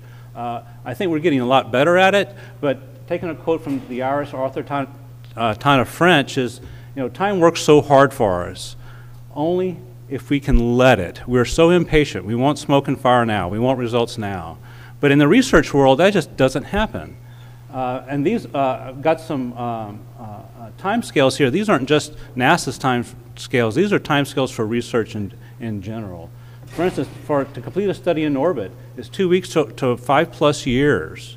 Uh, time from uh, completion of a study in orbit to, to the first professional publication or, or scientific publication, one to three years for a majority of investigations. And then time for publication to a patent, anywhere from three years for like technology to 20 years for, pharm- for the pharmaceutical industry. So we're not talking time frames that we normally deal with uh, in, in, in accomplishing goals uh, in our community. Now to give a, a little perspective on human spaceflight, from the 37 years or so from Skylab to Assembly Complete, there's only been about one and a half years of productive microgravity research in space. That's not a, terribly a lot of time. And if you compare that to the previous chart, oops, to the previous chart, we're just barely scratching the surface on, on, re, on research. And you can see when we first started with Skylab, we were just really in the exploration phase and learning what the microgravity environment was. And then we started doing survey studies of, of how it affects biology, phys- the physical sciences, medical sciences, and the, and the like. And now that assembly is complete, we can actually take what we've learned and apply that to application and to, to, to benefit people on Earth and also to help us uh, in exploring uh, the solar system as well. Uh, If station gets extended uh, beyond 2020, we'll accomplish 85% more research on on board the station on the internal ex- experiments. You see here is uh, where station would end today in our current policy. If policy extends space station, the area under the curve here, you see, we uh, nearly uh, come up doubling the amount of- of research we could do inside the space station. Similarly, for crew time, we more than double crew time. Here's 2020 today, and with addition of commercial crew and the fourth crew member, uh, we can actually double the amount of crew time available for crew, crew research if station is extended. We're also researching other uh, models for increments. Right now, we have six-month uh, uh, crew increments. We're uh, looking today at, at alternate mo- models for that. It has some implications for the human research program, but we're also exploring different models with them as well. Um, Today, we have a requirement to do at least 35 hours of, of crew time for research. This last uh, couple of increments, we've uh, averaged uh, 40 hours a week, and our predictions for the upcoming in- increment is 42 hours a week. So we're really doing uh, really well. We've learned how to optimize uh, crew time for research instead of crew time for maintenance. So we really learned how to balance the two and, and shift the balance to utilization instead of, you know, the, the, the, the, the upkeep in, of, of the station itself. Some upcoming research activities. Uh, there's a whole bunch of upcoming research activities. I've highlighted the, some of the more dramatic ones and ones that's taken a lot of, a lot of our effort. Uh, we're creating a new capability to fly rodents on, on board the space station, especially for medical and, and, and biomedical uh, research. Uh, that's going to be on SpaceX 4. That'll be an, be an exploratory, a demonstration, uh, a mission for, on SpaceX. I couldn't say that word. Uh, and on, on, the next SpaceX, we'll actually start doing more applied. Uh, the, the pharmaceutical industry is quite interested in, in this capability uh, for obvious reasons. Uh, we are now pursuing with CASIS and exploring that, the opportunities with the pharmaceutical industry to be able to use uh, this, this capability. We'll prove that it works on SpaceX 4, and then we'll go, we'll go from there. Um, Many of you may have heard we've had some ocular health issues that we've uh, found out on space station uh, with our with our crews. Uh, we now have, started uh, research programs specifically on that, especially looking towards long duration missions of a year and more. So that that's now beginning. Uh, we've just started uh, this year for our one uh, to do the research and planning for our one-year crew mission in 2015. So that's going well with our Russian partners. Uh, we're also engaging our other partners to see if they want to do research uh, uh, on on this program. Our first CASIS only sponsored payloads are coming up on SpaceX 3. and uh, Orbital One, and it's going to focus on an NRA that they put out on protein crystal growth. And just some of the, the technology development in Earth and space science missions we're flying on space station. Uh, HDEV, which is a uh, Earth viewing high def camera. Uh, Opals is right here at JPL. Uh, it's a laser comm uh, demonstration. Uh, Rapid Scat is a, a sea winds follow on. It measures sea winds and, and ocean wave height. CREAM is an astrophysics instrument, and uh, SAGE 3 is, an, is another uh, uh, earth science uh, instrument. Uh, these are just some of them. There's a whole lot more. We've partnered with uh, SMD to fly earth and space science instruments on board space stations. So many of our external attach points are being filled up with earth and space science in- instruments. We're also working with STMD with, with technology development activities as well.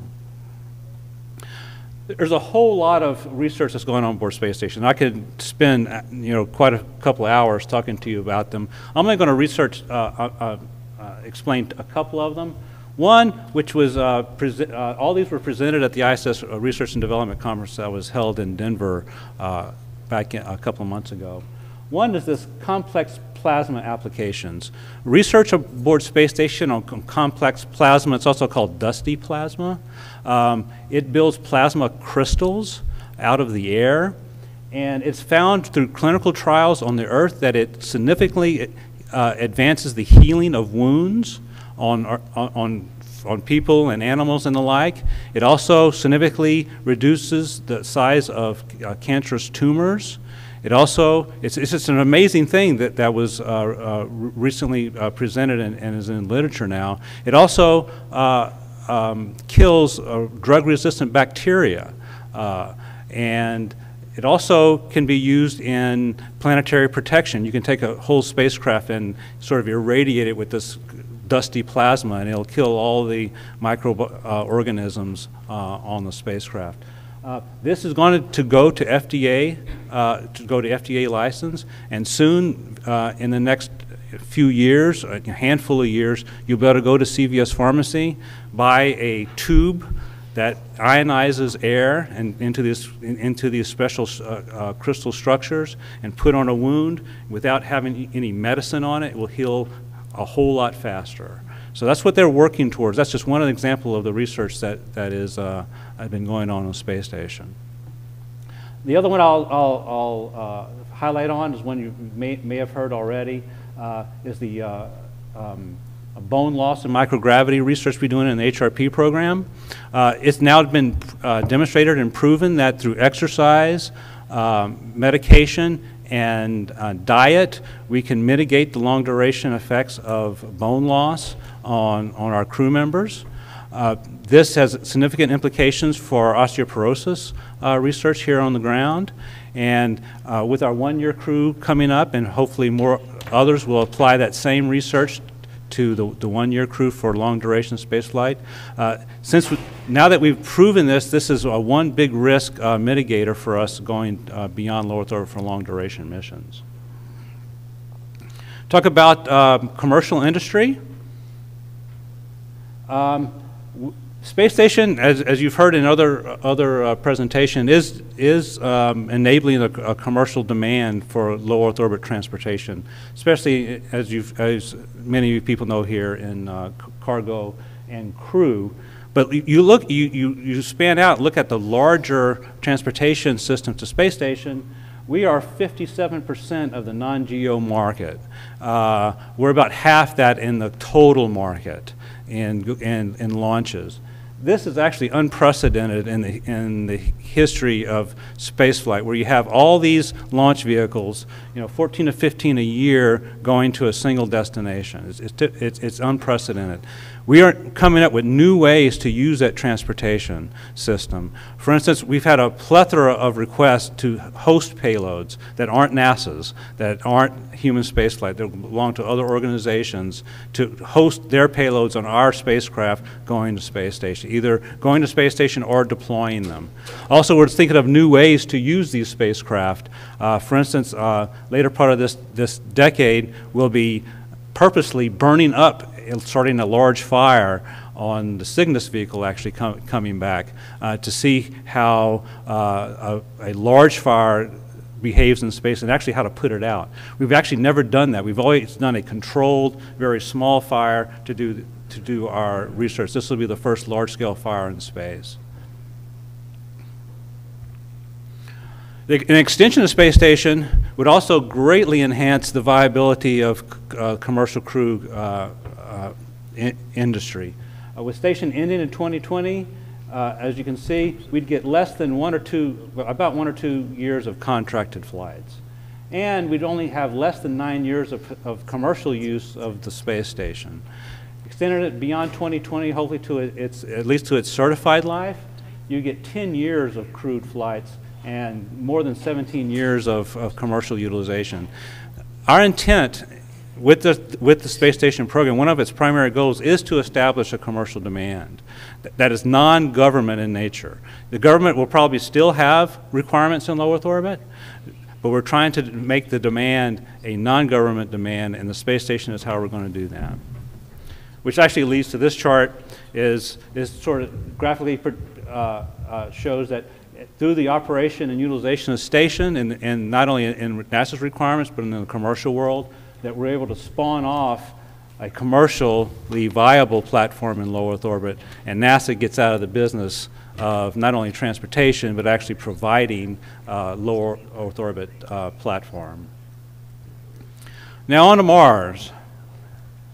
Um, remember this from Kathy's uh, presentation. Uh, remember, we're back here uh, being the cornerstone of human spaceflight and how we get beyond low Earth orbit to, to Mars and other destinations. So, where are we today in human spaceflight? Well, we got a long way to go. Uh, we talked about before, uh, Mars is several orders of magnitude away from where we are today, a really long way. And the only link to, for a Mars mission is a com link. That's all we have. And it's up to 42 minutes round trip. And the shortest missions that we can come up with is approximately one year and all the way up to three years. So basically, we'd have to recreate living on Earth, which has actually never been done before. And that's what we're doing on Space Station, trying to understand how can we go from all these links to the Earth, you know, with communi- our communications, which is near real time, our round trip is now less than two days. Uh, we have crew exchanges, crew supplies and logistics being supplied. We have crew and atmospheric samples coming back to Earth for, for uh, analysis and confirmation. We have modified hardware that goes up to space station. And we have emergency crew re return at any time. And one little problem we have with human spaceflight is trash. We've got lots of it. And the station, we have a, have a, uh, a simple and unique way to get rid of it is just burn it up in the atmosphere. Going to Mars, we don't have any of those things. So the research on the station that we're doing today is to be able to break these chains here and get to the point where we can go beyond Earth for years without all the, depending on all these uh, links to the Earth. So, on space station, um, we can mitigate the ones in green, all these risks uh, in technologies and capabilities in human health in operations. I won't go through all, all these, you, you, you could read them your, uh, yourselves when this, all this stuff hits the web. But things that, you know, like ECLSS and, and, and radiation monitoring that people can think of. EVA, fire safety, um, uh, high-powered solar cells, variable low-mass thermal systems, habitation systems, and lightweight structures, what we're doing with, with Bigelow. Uh, of course, the human health, which I'll get to in a minute. And the operations I'll also touch on a little bit, uh, crew autonomy, com delay, uh, and other operational simulations. So in, in, the Human Research Program, Station is required to, to, to mitigate 21 of 32 health risks. And the drivers of that for like number of subjects, pharmacology, the muscle uh, uh, degradation, things of that nature. And given the current number of subjects and the risks that we have today, HRP won't be done with their research till the mid-2020s. And the way we keep track of that is with this eye chart, which I don't expect you to read. But the way you, the way you read it, the red is, is, is, is unacceptable risk, the yellow is acceptable, and the green is controlled. Now, the ones that are here in red here, here are the critical ones that basically to, to keep the crew alive. So those will not be mitigated, if you look here, until about the 2025 time period when they, especially this one here, which is, which is food related, and this one here, which is muscle. So we have a lot of work to do in human research uh, to mitigate the risk of going beyond low Earth orbit for long duration space flights. Now, we're doing the same thing for technology de- development and, and capability development. Uh, for ECLSS, I'm not going to go through all this, but for ECLSS and environmental monitoring, we have goals to reach on space station and, uh, and from a technology standpoint. Same thing in environmental monitoring. For environmental monitoring, for instance, we have to break that chain. We can't bring samples back to Earth when we go beyond uh, low Earth orbit. Like if you stay at the moon for, for, uh, for three months or for a year or go to Mars for three years, we, there's no samples coming back. So all that, has to, all that monitoring has to be done on orbit. So we're developing the technology and, the- and the crew procedures along uh, to do that. For ECLSS, our plan is to, to run the, the Mars ECLSS system on space station for at least two years. Now, given that, all that work, we, we have uh, uh, run that out, all, uh, all the schedule and technology development and, and, and notional budgets. To complete all that work, we won't be done on space station until about the same time HRP, around 2025 time frame or so. Some examples of the recent lessons learned for exploration. Uh, you've probably heard about uh, Luca's uh, uh, uh, water problem in the EVA suit. Um, we've taken those lessons that we've had over the years with the EVA suit, and we're building a new EVA suit that will not have those same failure scenarios. So we will not have the problem of getting water into the suit in the new EVA suit, just because of different, different technology. On ECLSS, our, our, our uh, CO2 removal beds, we've had uh, some, a lot of uh, manufacturing issues. We've now solved, we think we've now solved those manufacturing issues, and we're going to be testing those new absorbent beds on space station. Uh, also, the, uh, uh, we've had re- recent indications of coliforms aboard space station. Right now, we have to wait to get those samples down to the ground to understand what's the, uh, what's the significance of those. We can only detect that there's coliforms on, on station. We can't tell what kind they are, how many, or anything like that today. So uh, we're coming up with technology to be able to, to do just that. Um, the crew that's coming down this evening will go through a new field test, uh, basically to test their, op- their operational uh, capability right after landing, which would be also be critical for going for long duration space flights on another body. The, uh, starting off with just three simple things a sit and stand test, a simulated recovery from a fall test, and a tandem heel, heel and toe walk test. This will be done within a first couple of hours uh, of, of landing in a medical tent. And this is being done, done jointly by the, uh, by the U.S. and Russian doctors. So that's just one of the ex- examples of an operational uh, simulation that we're doing. Getting back to, to the uh, partnership we've talked about before with Kathy, um, really the crown jewel of space station is not the hardware, it's not the research, it's not any of those things, it's the partnership. That's the crown jewel. Uh, over the years of, of going from Freedom into International Space Station, it took a total of nine years to negotiate the policy, the political, and the programmatic aspects of the, state, of, of the program. The program is complex enough to engage all the major spacefaring nations. If it was less complex, you probably wouldn't get maybe an ESA. You may not get Russia, but if it's, it's complex and difficult enough where it takes all of them working together. And that's, I think, critical lessons to learn for going to, to complex missions like going to Mars that'll be large and complex. Uh, with Station going through tw- uh, at least 2028, if that's approved, we have a program that's viable and, and, and, and eh, that will, can keep the partnership together. Without Space Station, if it ends in 2020, there would probably not be an opportunity to create this partnership ever again. The politics and, and, and just the, the, the state the world is in today, that partnership will probably never be pulled together again. So it's vital to keep this partnership together if we think we're going to use that partnership or if we're going to go, go to hard destinations like Mars or, or, or long duration missions to asteroids or the like. So how do we know when space station is done?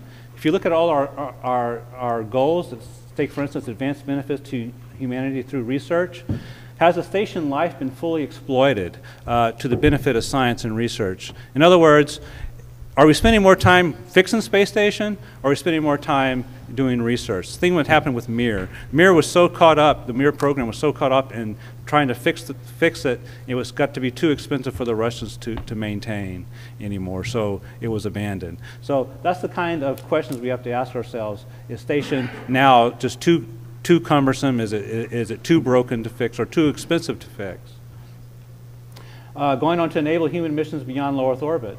Uh, ha- has all the critical technologies been, been uh, demonstrated that, that we need, like ECLSS and human health and performance? Has the fly-off plan been completed? Uh, how do we know that, that we've accomplished our mission in, um, in enabling the commercial market?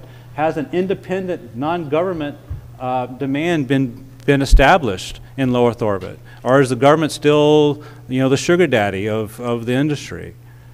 Has, uh, has, a, has a commercial low Earth orbit platform been established other than the government to satisfy government needs?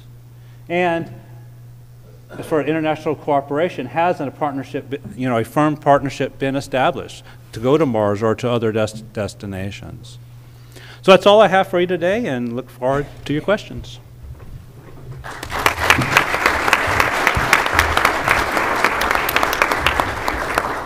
Thanks, Sam. Well, while I ask Kathy one question, everybody else start thinking about additional questions that you would like to address to the panel. Kathy, I- as I read the Global Exploration Roadmap, I found it to be a very interesting and informative overarching strategy for future exploration, almost like level zero type requirements. Has your team thought about what are the sub-indentured requirements or next steps to implementing that nice overarching structure that you put together? Um, In some cases, yes, because um, it's been important to help inform decisions along the way.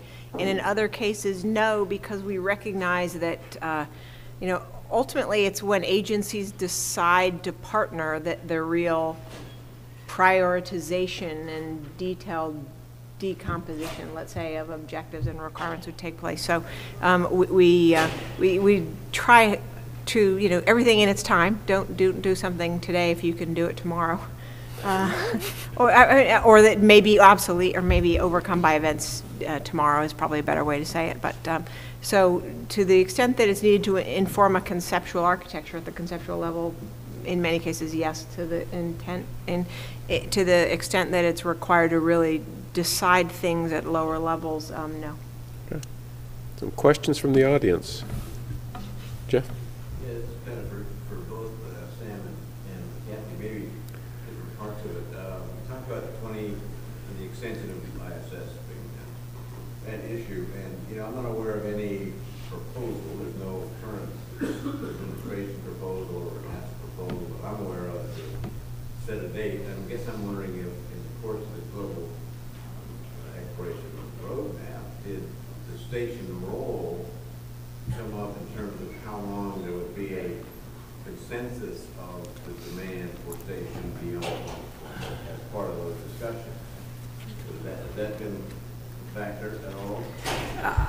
You know, I would say yes, and, and a lot of the things that are reflected in the roadmap are, are, are things that occur at, you know, at, at at a, uh, even within ISS program discussions, right? The, the roadmap reflects the current state of the pieces coming together. Um, and, and so I think that to, to, um, uh, so along those lines, the, the, the consensus is that, um, that planning the transition from ISS to beyond, it's really important to, um, to, um, to not ensure, to, to not have a gap, right, to not have a gap. So recognizing that, that all the things that Sam talked about uh, uh, as important to do on ISS are, are important to do.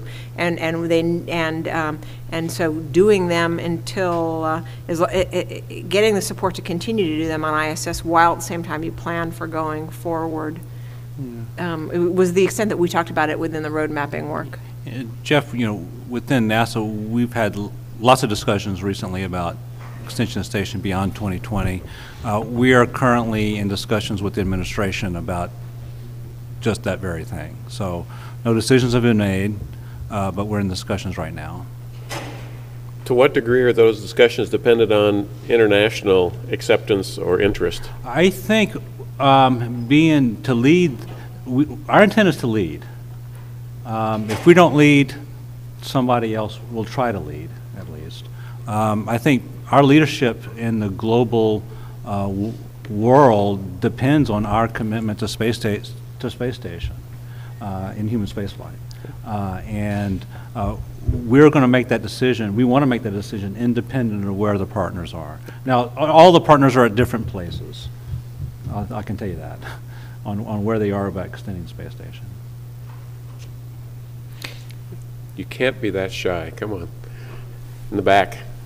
I listened to a presentation earlier earlier today about the EMAP project, um, analyzing the Orion mission. Um, how repeatable is a long-duration mission on the current uh, Orion platform? Oh, it's already on, sorry. Um, make, maintainable, do you mean what is the durations that we're talking about? Uh, The the report that I listened to today was uh, discussing the volume or the mass that we require to like replace parts that fail on a regular basis. That- That's kind of what I meant. Yeah, so for, so I think the way you'd look at that is for uh, Orion, for like the asteroid mission, it's really going to be driven by uh, the crew size and the consumables, really not the, not the duration. Um, So right now, we're looking at four people, 20, 20 to 30 days, you could probably make work. Now, the Orion system is designed to operate in a quiescent mode up to about six months. So, you know, you put them kind of in a dormant mode where there's no crew on board. So if you were going to uh, Mars, you basically do the attachment, the crew gets out of the Orion, and then they're, they're in the HAB module, they do all their exercise and everything else in there, and you're basically shutting the systems down to the minimum. But certainly for a Mars trip, you need to bring some spares. I expect over that year, three years, depending on what you do, and there'd be some things to replace. It's much, much like we designed it when it was originally going to go to space station, right, where it sits on board, is basically hanging out there. Does that answer your question? Okay. Ed?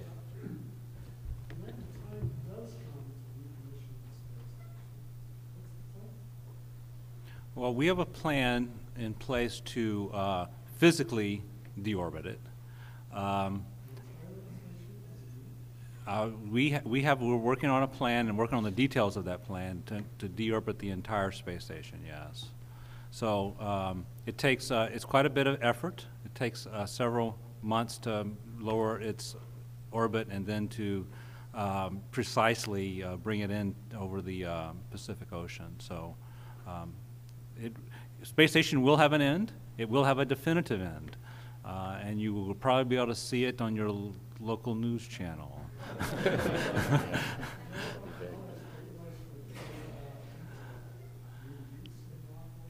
Now, uh, uh, now reuse of modules, that's possible. In 2028, some of the modules will probably still have quite a bit of life left in them. Um, That, you know, those kind of discussions uh, have been going on and off for some time. Uh, it's too early for that. We're still, we're mainly um, focusing on the utilization of space station right now and getting its full use out right now. Uh, We'll get to the point where we can actually start talking. So, fir- we got to see, we got to actually get the, the operational life understood. We have data today that tells us we can go to 2028. We'll actually see when we actually operate it, get, get more measurements on board the space station. We'll see what the structural life will actually be when we actually get there. Let's see. Next to you and then you, Jeff. Quick question on Orion. Um, The NASA website actually says that Orion is, is a contingent backup for the commercial crew for going to ISS if necessary. I I realize that Orion is highly overqualified for that, but that contingency, does it drive requirements in any way? Or is it simply Yeah, so rem- that, so that I, actually, I believe is part of the legislation. Uh, Jeff's helping me remember. So it's part of the legislation that that's a capability that, that we're supposed to have. Um, at the moment, we're not actually doing any design or development um, uh, in that vein. But the, the system in general was designed to support flying people up and down, uh, to handle quiescent mode, to handle MMOD environment. So there's really, uh, there's no fundamental changes to make that happen. Like you said, it's overqualified, and that's why that's not its mission today. Um, There are other things that we would want to accelerate if that turned out to be the case, which is this rendezvous and docking capability, the integration with the docking system, right, which we're not doing, Nate, because right now we don't have a, a docking mission and exploration capability, so. Yeah, there's nothing in the design that says you couldn't do it if you wanted to do it. Yeah, we'd have to, we'd have to accelerate those other developments, like the docking system and rendezvous and docking to make that happen. Jeff? Uh, Just a question on back on station extension. uh, Again, referring to that law that uh, requires that fifty percent of the station is basically belongs to the private sector after, after the- October of last year. Meaning that there's a whole array of potential users that aren't, yet- aren't there yet. They're being built, as you know, by this CASIS organization that's, uh, that's getting up and running with the new board and so on. Isn't that gonna play a major role in the question of extension, because, um, if, conceivably, if you've got fifty percent of the station being used by an active clientele or customer base, you could conceivably even see a position where they might wanna even take over some of the other fifty percent that you may not need. Well, I would great to have that problem. Just a second. Peter, can you hear the, could you hear the question, Peter? Okay. Just want to make sure people could hear it in the back. Yeah, so, so, Jeff, you know, I, would- I would, I would be happy to have that problem next year, or the year after. I would happy to have that problem. That means we need another station, maybe a commercial space station. Uh, so that's the position we actually want to be in. Um, and we're working hard, uh, with CASIS to make that happen.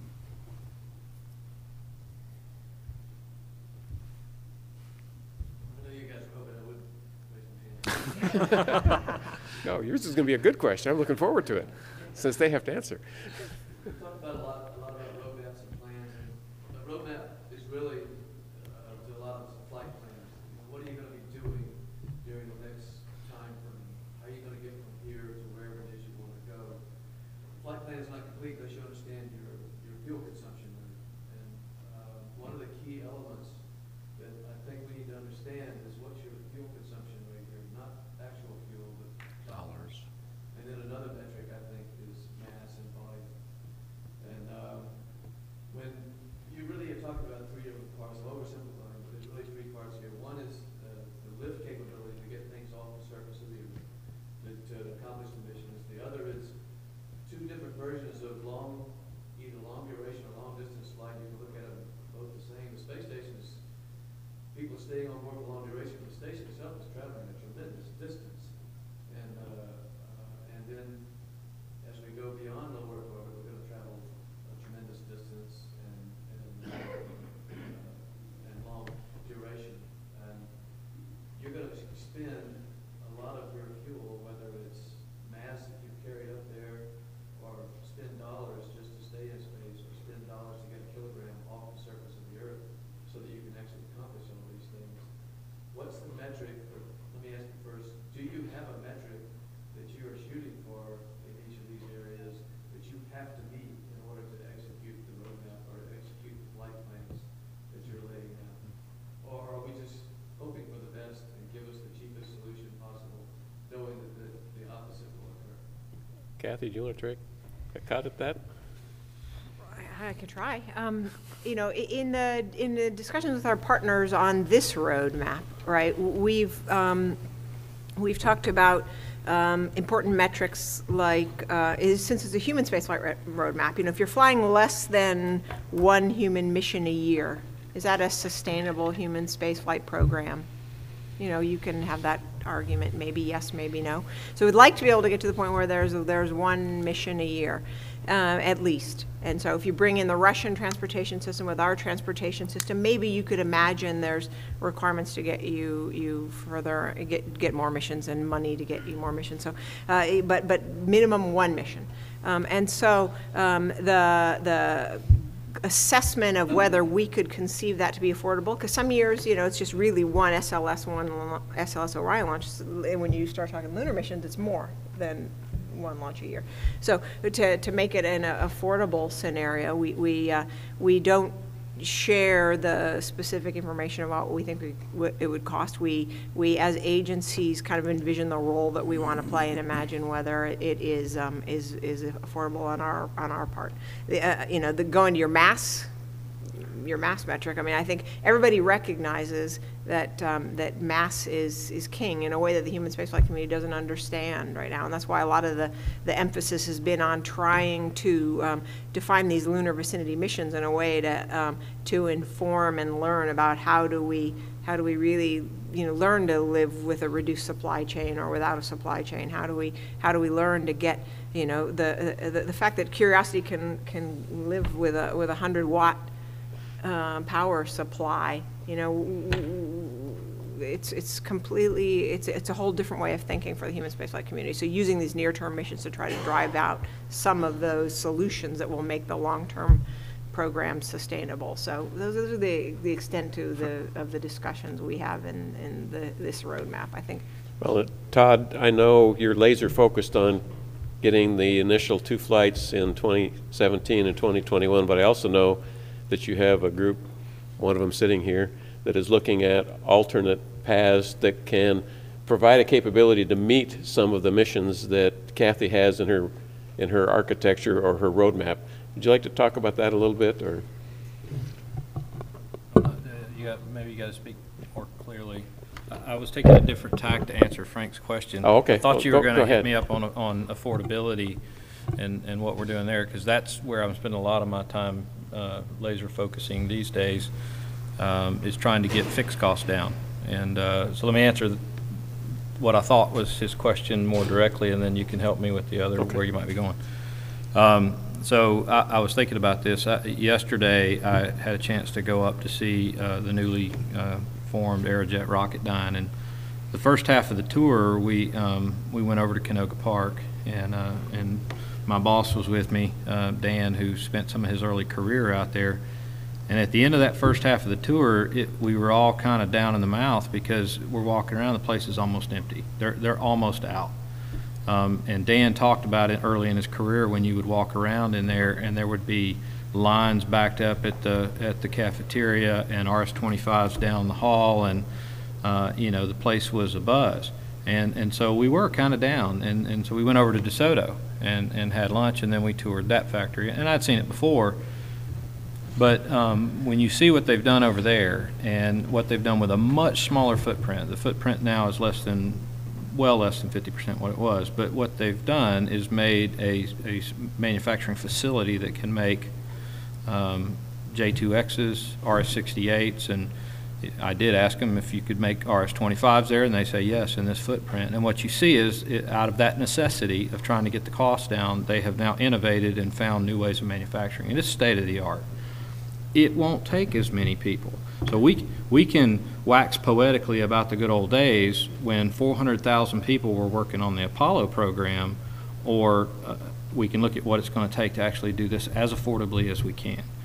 Um, To take another example, um, ATK, um, a lot of what they've been doing with value stream mapping is getting down the cycle time and the number of touch labor hours and miles it has to go in the factory to get out, uh, to get a booster out. They reduced it 46%.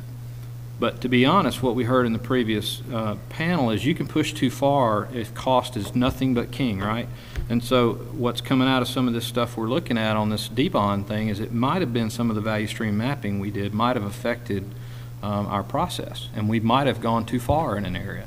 So we're off, we're off submarine and trying to find the bottom of what is the fixed cost uh, and how small can we make it. And we're doing that across the board. We're not just doing uh, the primes either. Uh, Michoud, um, we used to pay over $120 million a year to keep Michoud running. Um, that number now is less than 50 million. We're getting it down into the 30 range, including the 25 million or so it takes for, for the fair share of, of the core itself. So we're continuing to try to drive that down um, as we move forward. And, tha- and that's just, that can't, to me, that's the carrying cost of as you go forward, no matter what the flight rate is. I'd love to get the flight rate up. But what I've got to focus on to be successful is continuing to get those things down.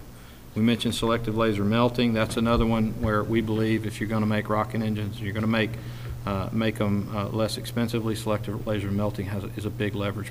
And so we're really interested in that. And, and we, I don't know if you were here when we talked about earlier, we've actually got parts we're testing the J2X with on the stand today.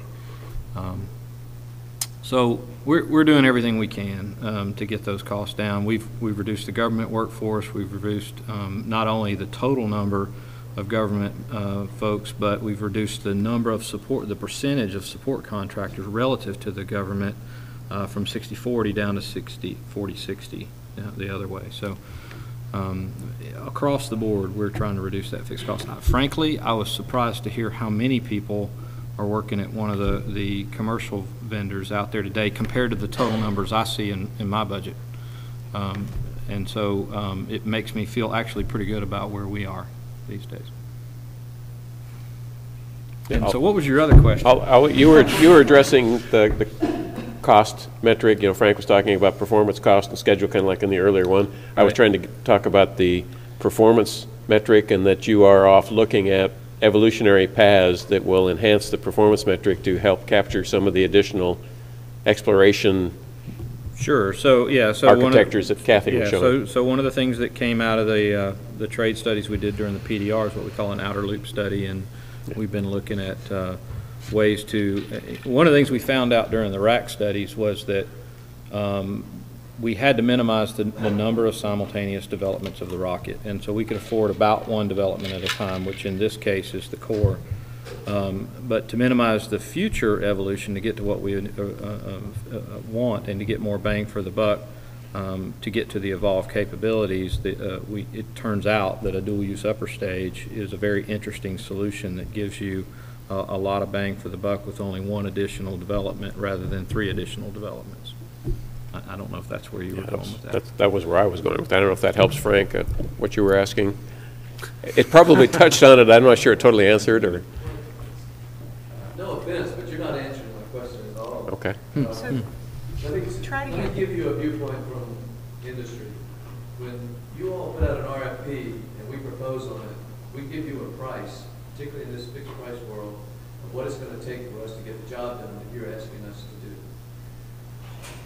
NASA is not telling Congress or the American public what it's gonna really cost per some unit, like a kilogram, or a person, or a nautical mile, or whatever, what it's gonna cost to actually get the job done. You're just saying, we'll do the best we can and we'll make it as inexpensive as possible, and we'll take you as far as we can.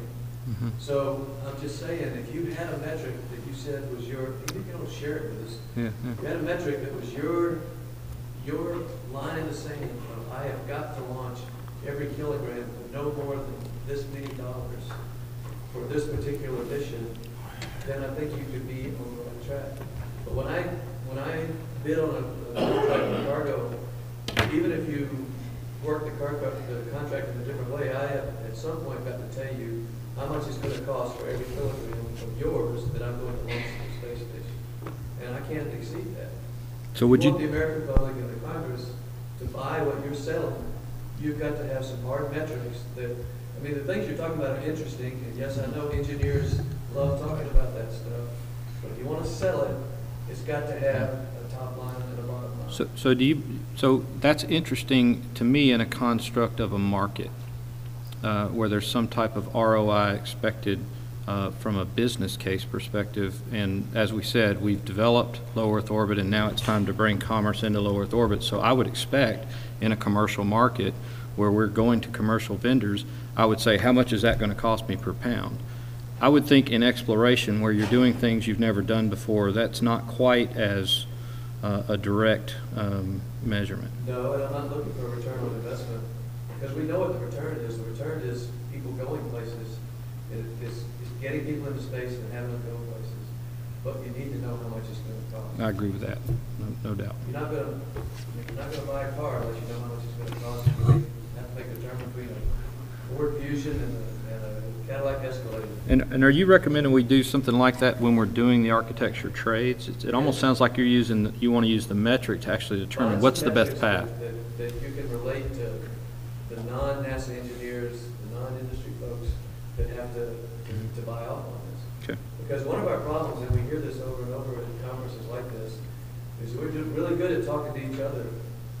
We're not very good at talking to the outside world and selling them on what we're doing. They think it's cool, they love it, they're glad we're doing it, they don't understand why we're spending so much money on it. Yeah, I think the hard part is putting a value on it. And I, I'm not sure I, I, I think Todd said it right. It's hard to uh, estimate with uh, any great fidelity exactly what these costs are, especially when we decide we're going to smash the budget or we're going to tell change the budget every year. So when somebody says, tell me, give me, give me certainty for nine years out, which is actually what they asked me to do, give me certainty in nine years within a confidence level, what Orion is going to cost.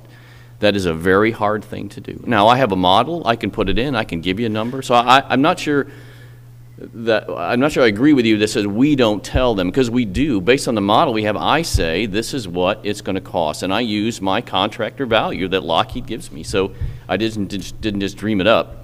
Um, We do assume uh, some aggressive assumptions, Frank, as you know, because we, because I think we should, and we tie those aggressive assumptions to specific actions that we're trying to take. Some come true, some don't. So we do model that, and we do try to do that. Um, but I think that, I think that's going to be, the difficulty is then said, the part that's hard is the value, and that's the kind of things that, you know, the way Todd described what it means to go exploring. It's hard to put a dollar value on that. I think we need to more and more for the same amount of money that we've been given, and that's really where this, the kind of things that Todd talked about are important. One, one of the thing, one of the ways I think about it is that under a flat budget with two and a half percent inflation every year, my challenge every year is to reduce the basic fixed cost two and a half percent a year. I mean, that's the way I think of it. Now, if you've ever managed a program or project, you know that it wants to be a curve, and there's, we're at that place where it wants to be a bump. Um, but once you get off into, into running, you've still got to reduce your fixed cost. And so that's what, um, that's the way I think about it in terms of being viable for the long-term future, that you continue to find about two and a half percent a year in terms of efficiencies.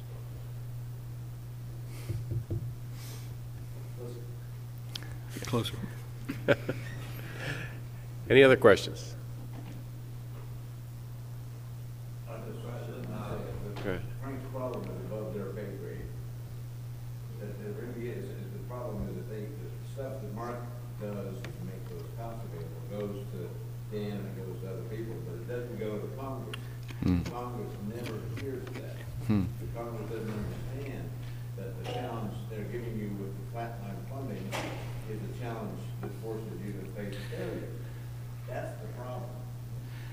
Well- Well, Frank, you know, the last time we had a exploration roadmap and we brought the, the cost to Congress, it got canceled. And Mike Griffin can tell you all about that. Yeah. Yeah. And,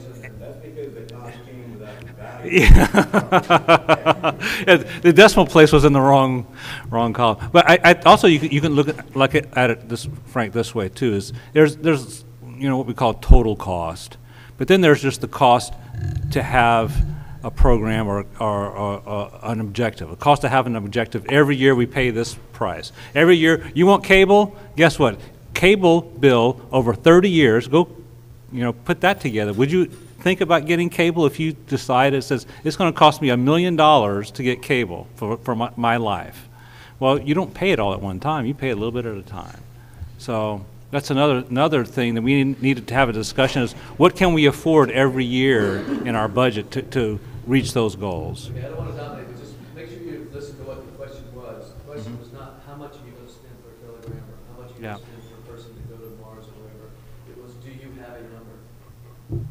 That's what the Congress wants to know. Do you have a number? You can decide how you communicate that to them. But if the agency, and I know it's above your pay grade, but you're the ones who provide those numbers. You don't have that number as a target. You don't know whether you're doing the right thing or not on the fiscal side of it. The Technical side, the programmatic side are other elements. Cost, schedule, performance. You've got to do all three of them, even if you're in the government. So uh, I'll, I'll take one more stab at my piece of it. Um, You know, there's a lot of places we could go. Um, Patrick Scheuermann likes to say, Todd, your destination is Kennedy Space Center. And uh, having worked a bunch of those planetary missions where you have a development and you launch the thing and it flies, we're trying to set up our cost around getting to that point, because that's something we can measure. We actually can say, how much does it cost to get to that first launch? And so, um, as part of this key decision point process, we will go through that, that whole, that whole thing. It's not something we talk about outside the agency until we get through KDPC, but I can guarantee you, we, we know that number, and, and we know what that is. And it, it won't surprise anybody from what we said last time at the, at the KDPB. The first flight's gonna be a lot different than your. So, right- you're right, you're talking a longer-term strategic thing, and that, like you said, Jeff said, it's above our pay grade for that. Do you have a question? I just had one, um, four years from first SLS launch, seventeen, uh, to twenty-one. My question is, the infrastructure you're putting in the shoe, you build more than that in the next couple? Uh, What- What is your rate? Is the capability? Yes. So we have the surge capability to put three cores a year out. Um, Yeah, it's, so if you're going to do a, a Mars campaign or something like that, you've got to be able to get, Stack 'em a- up. get a bunch of things stacked up. So Michoud is certainly capable of that. I will tell you, though, we've reduced our footprint at Michoud quite a bit, and, um, and are also looking at, um, just like he's looking at selling space on Space Station, I'm looking at selling space at Michoud to offset fixed costs there. That, that's one of the ways we reduce our total costs. Now, we're government, so we can always do eminent no do- domain if we need the space back, but Michoud can handle it, definitely. As a matter of fact, we are, we are designing the way we build the cores in a way so that about one a year is actually optimum. So the, the group travels around with the pieces of the core, rather than having a bunch of people standing at all the stations, right? So you do a launch campaign type approach? We definitely could, yeah. Very good. Appreciate everybody hanging in there until the end of the session. How about if we give our panelists another round of applause?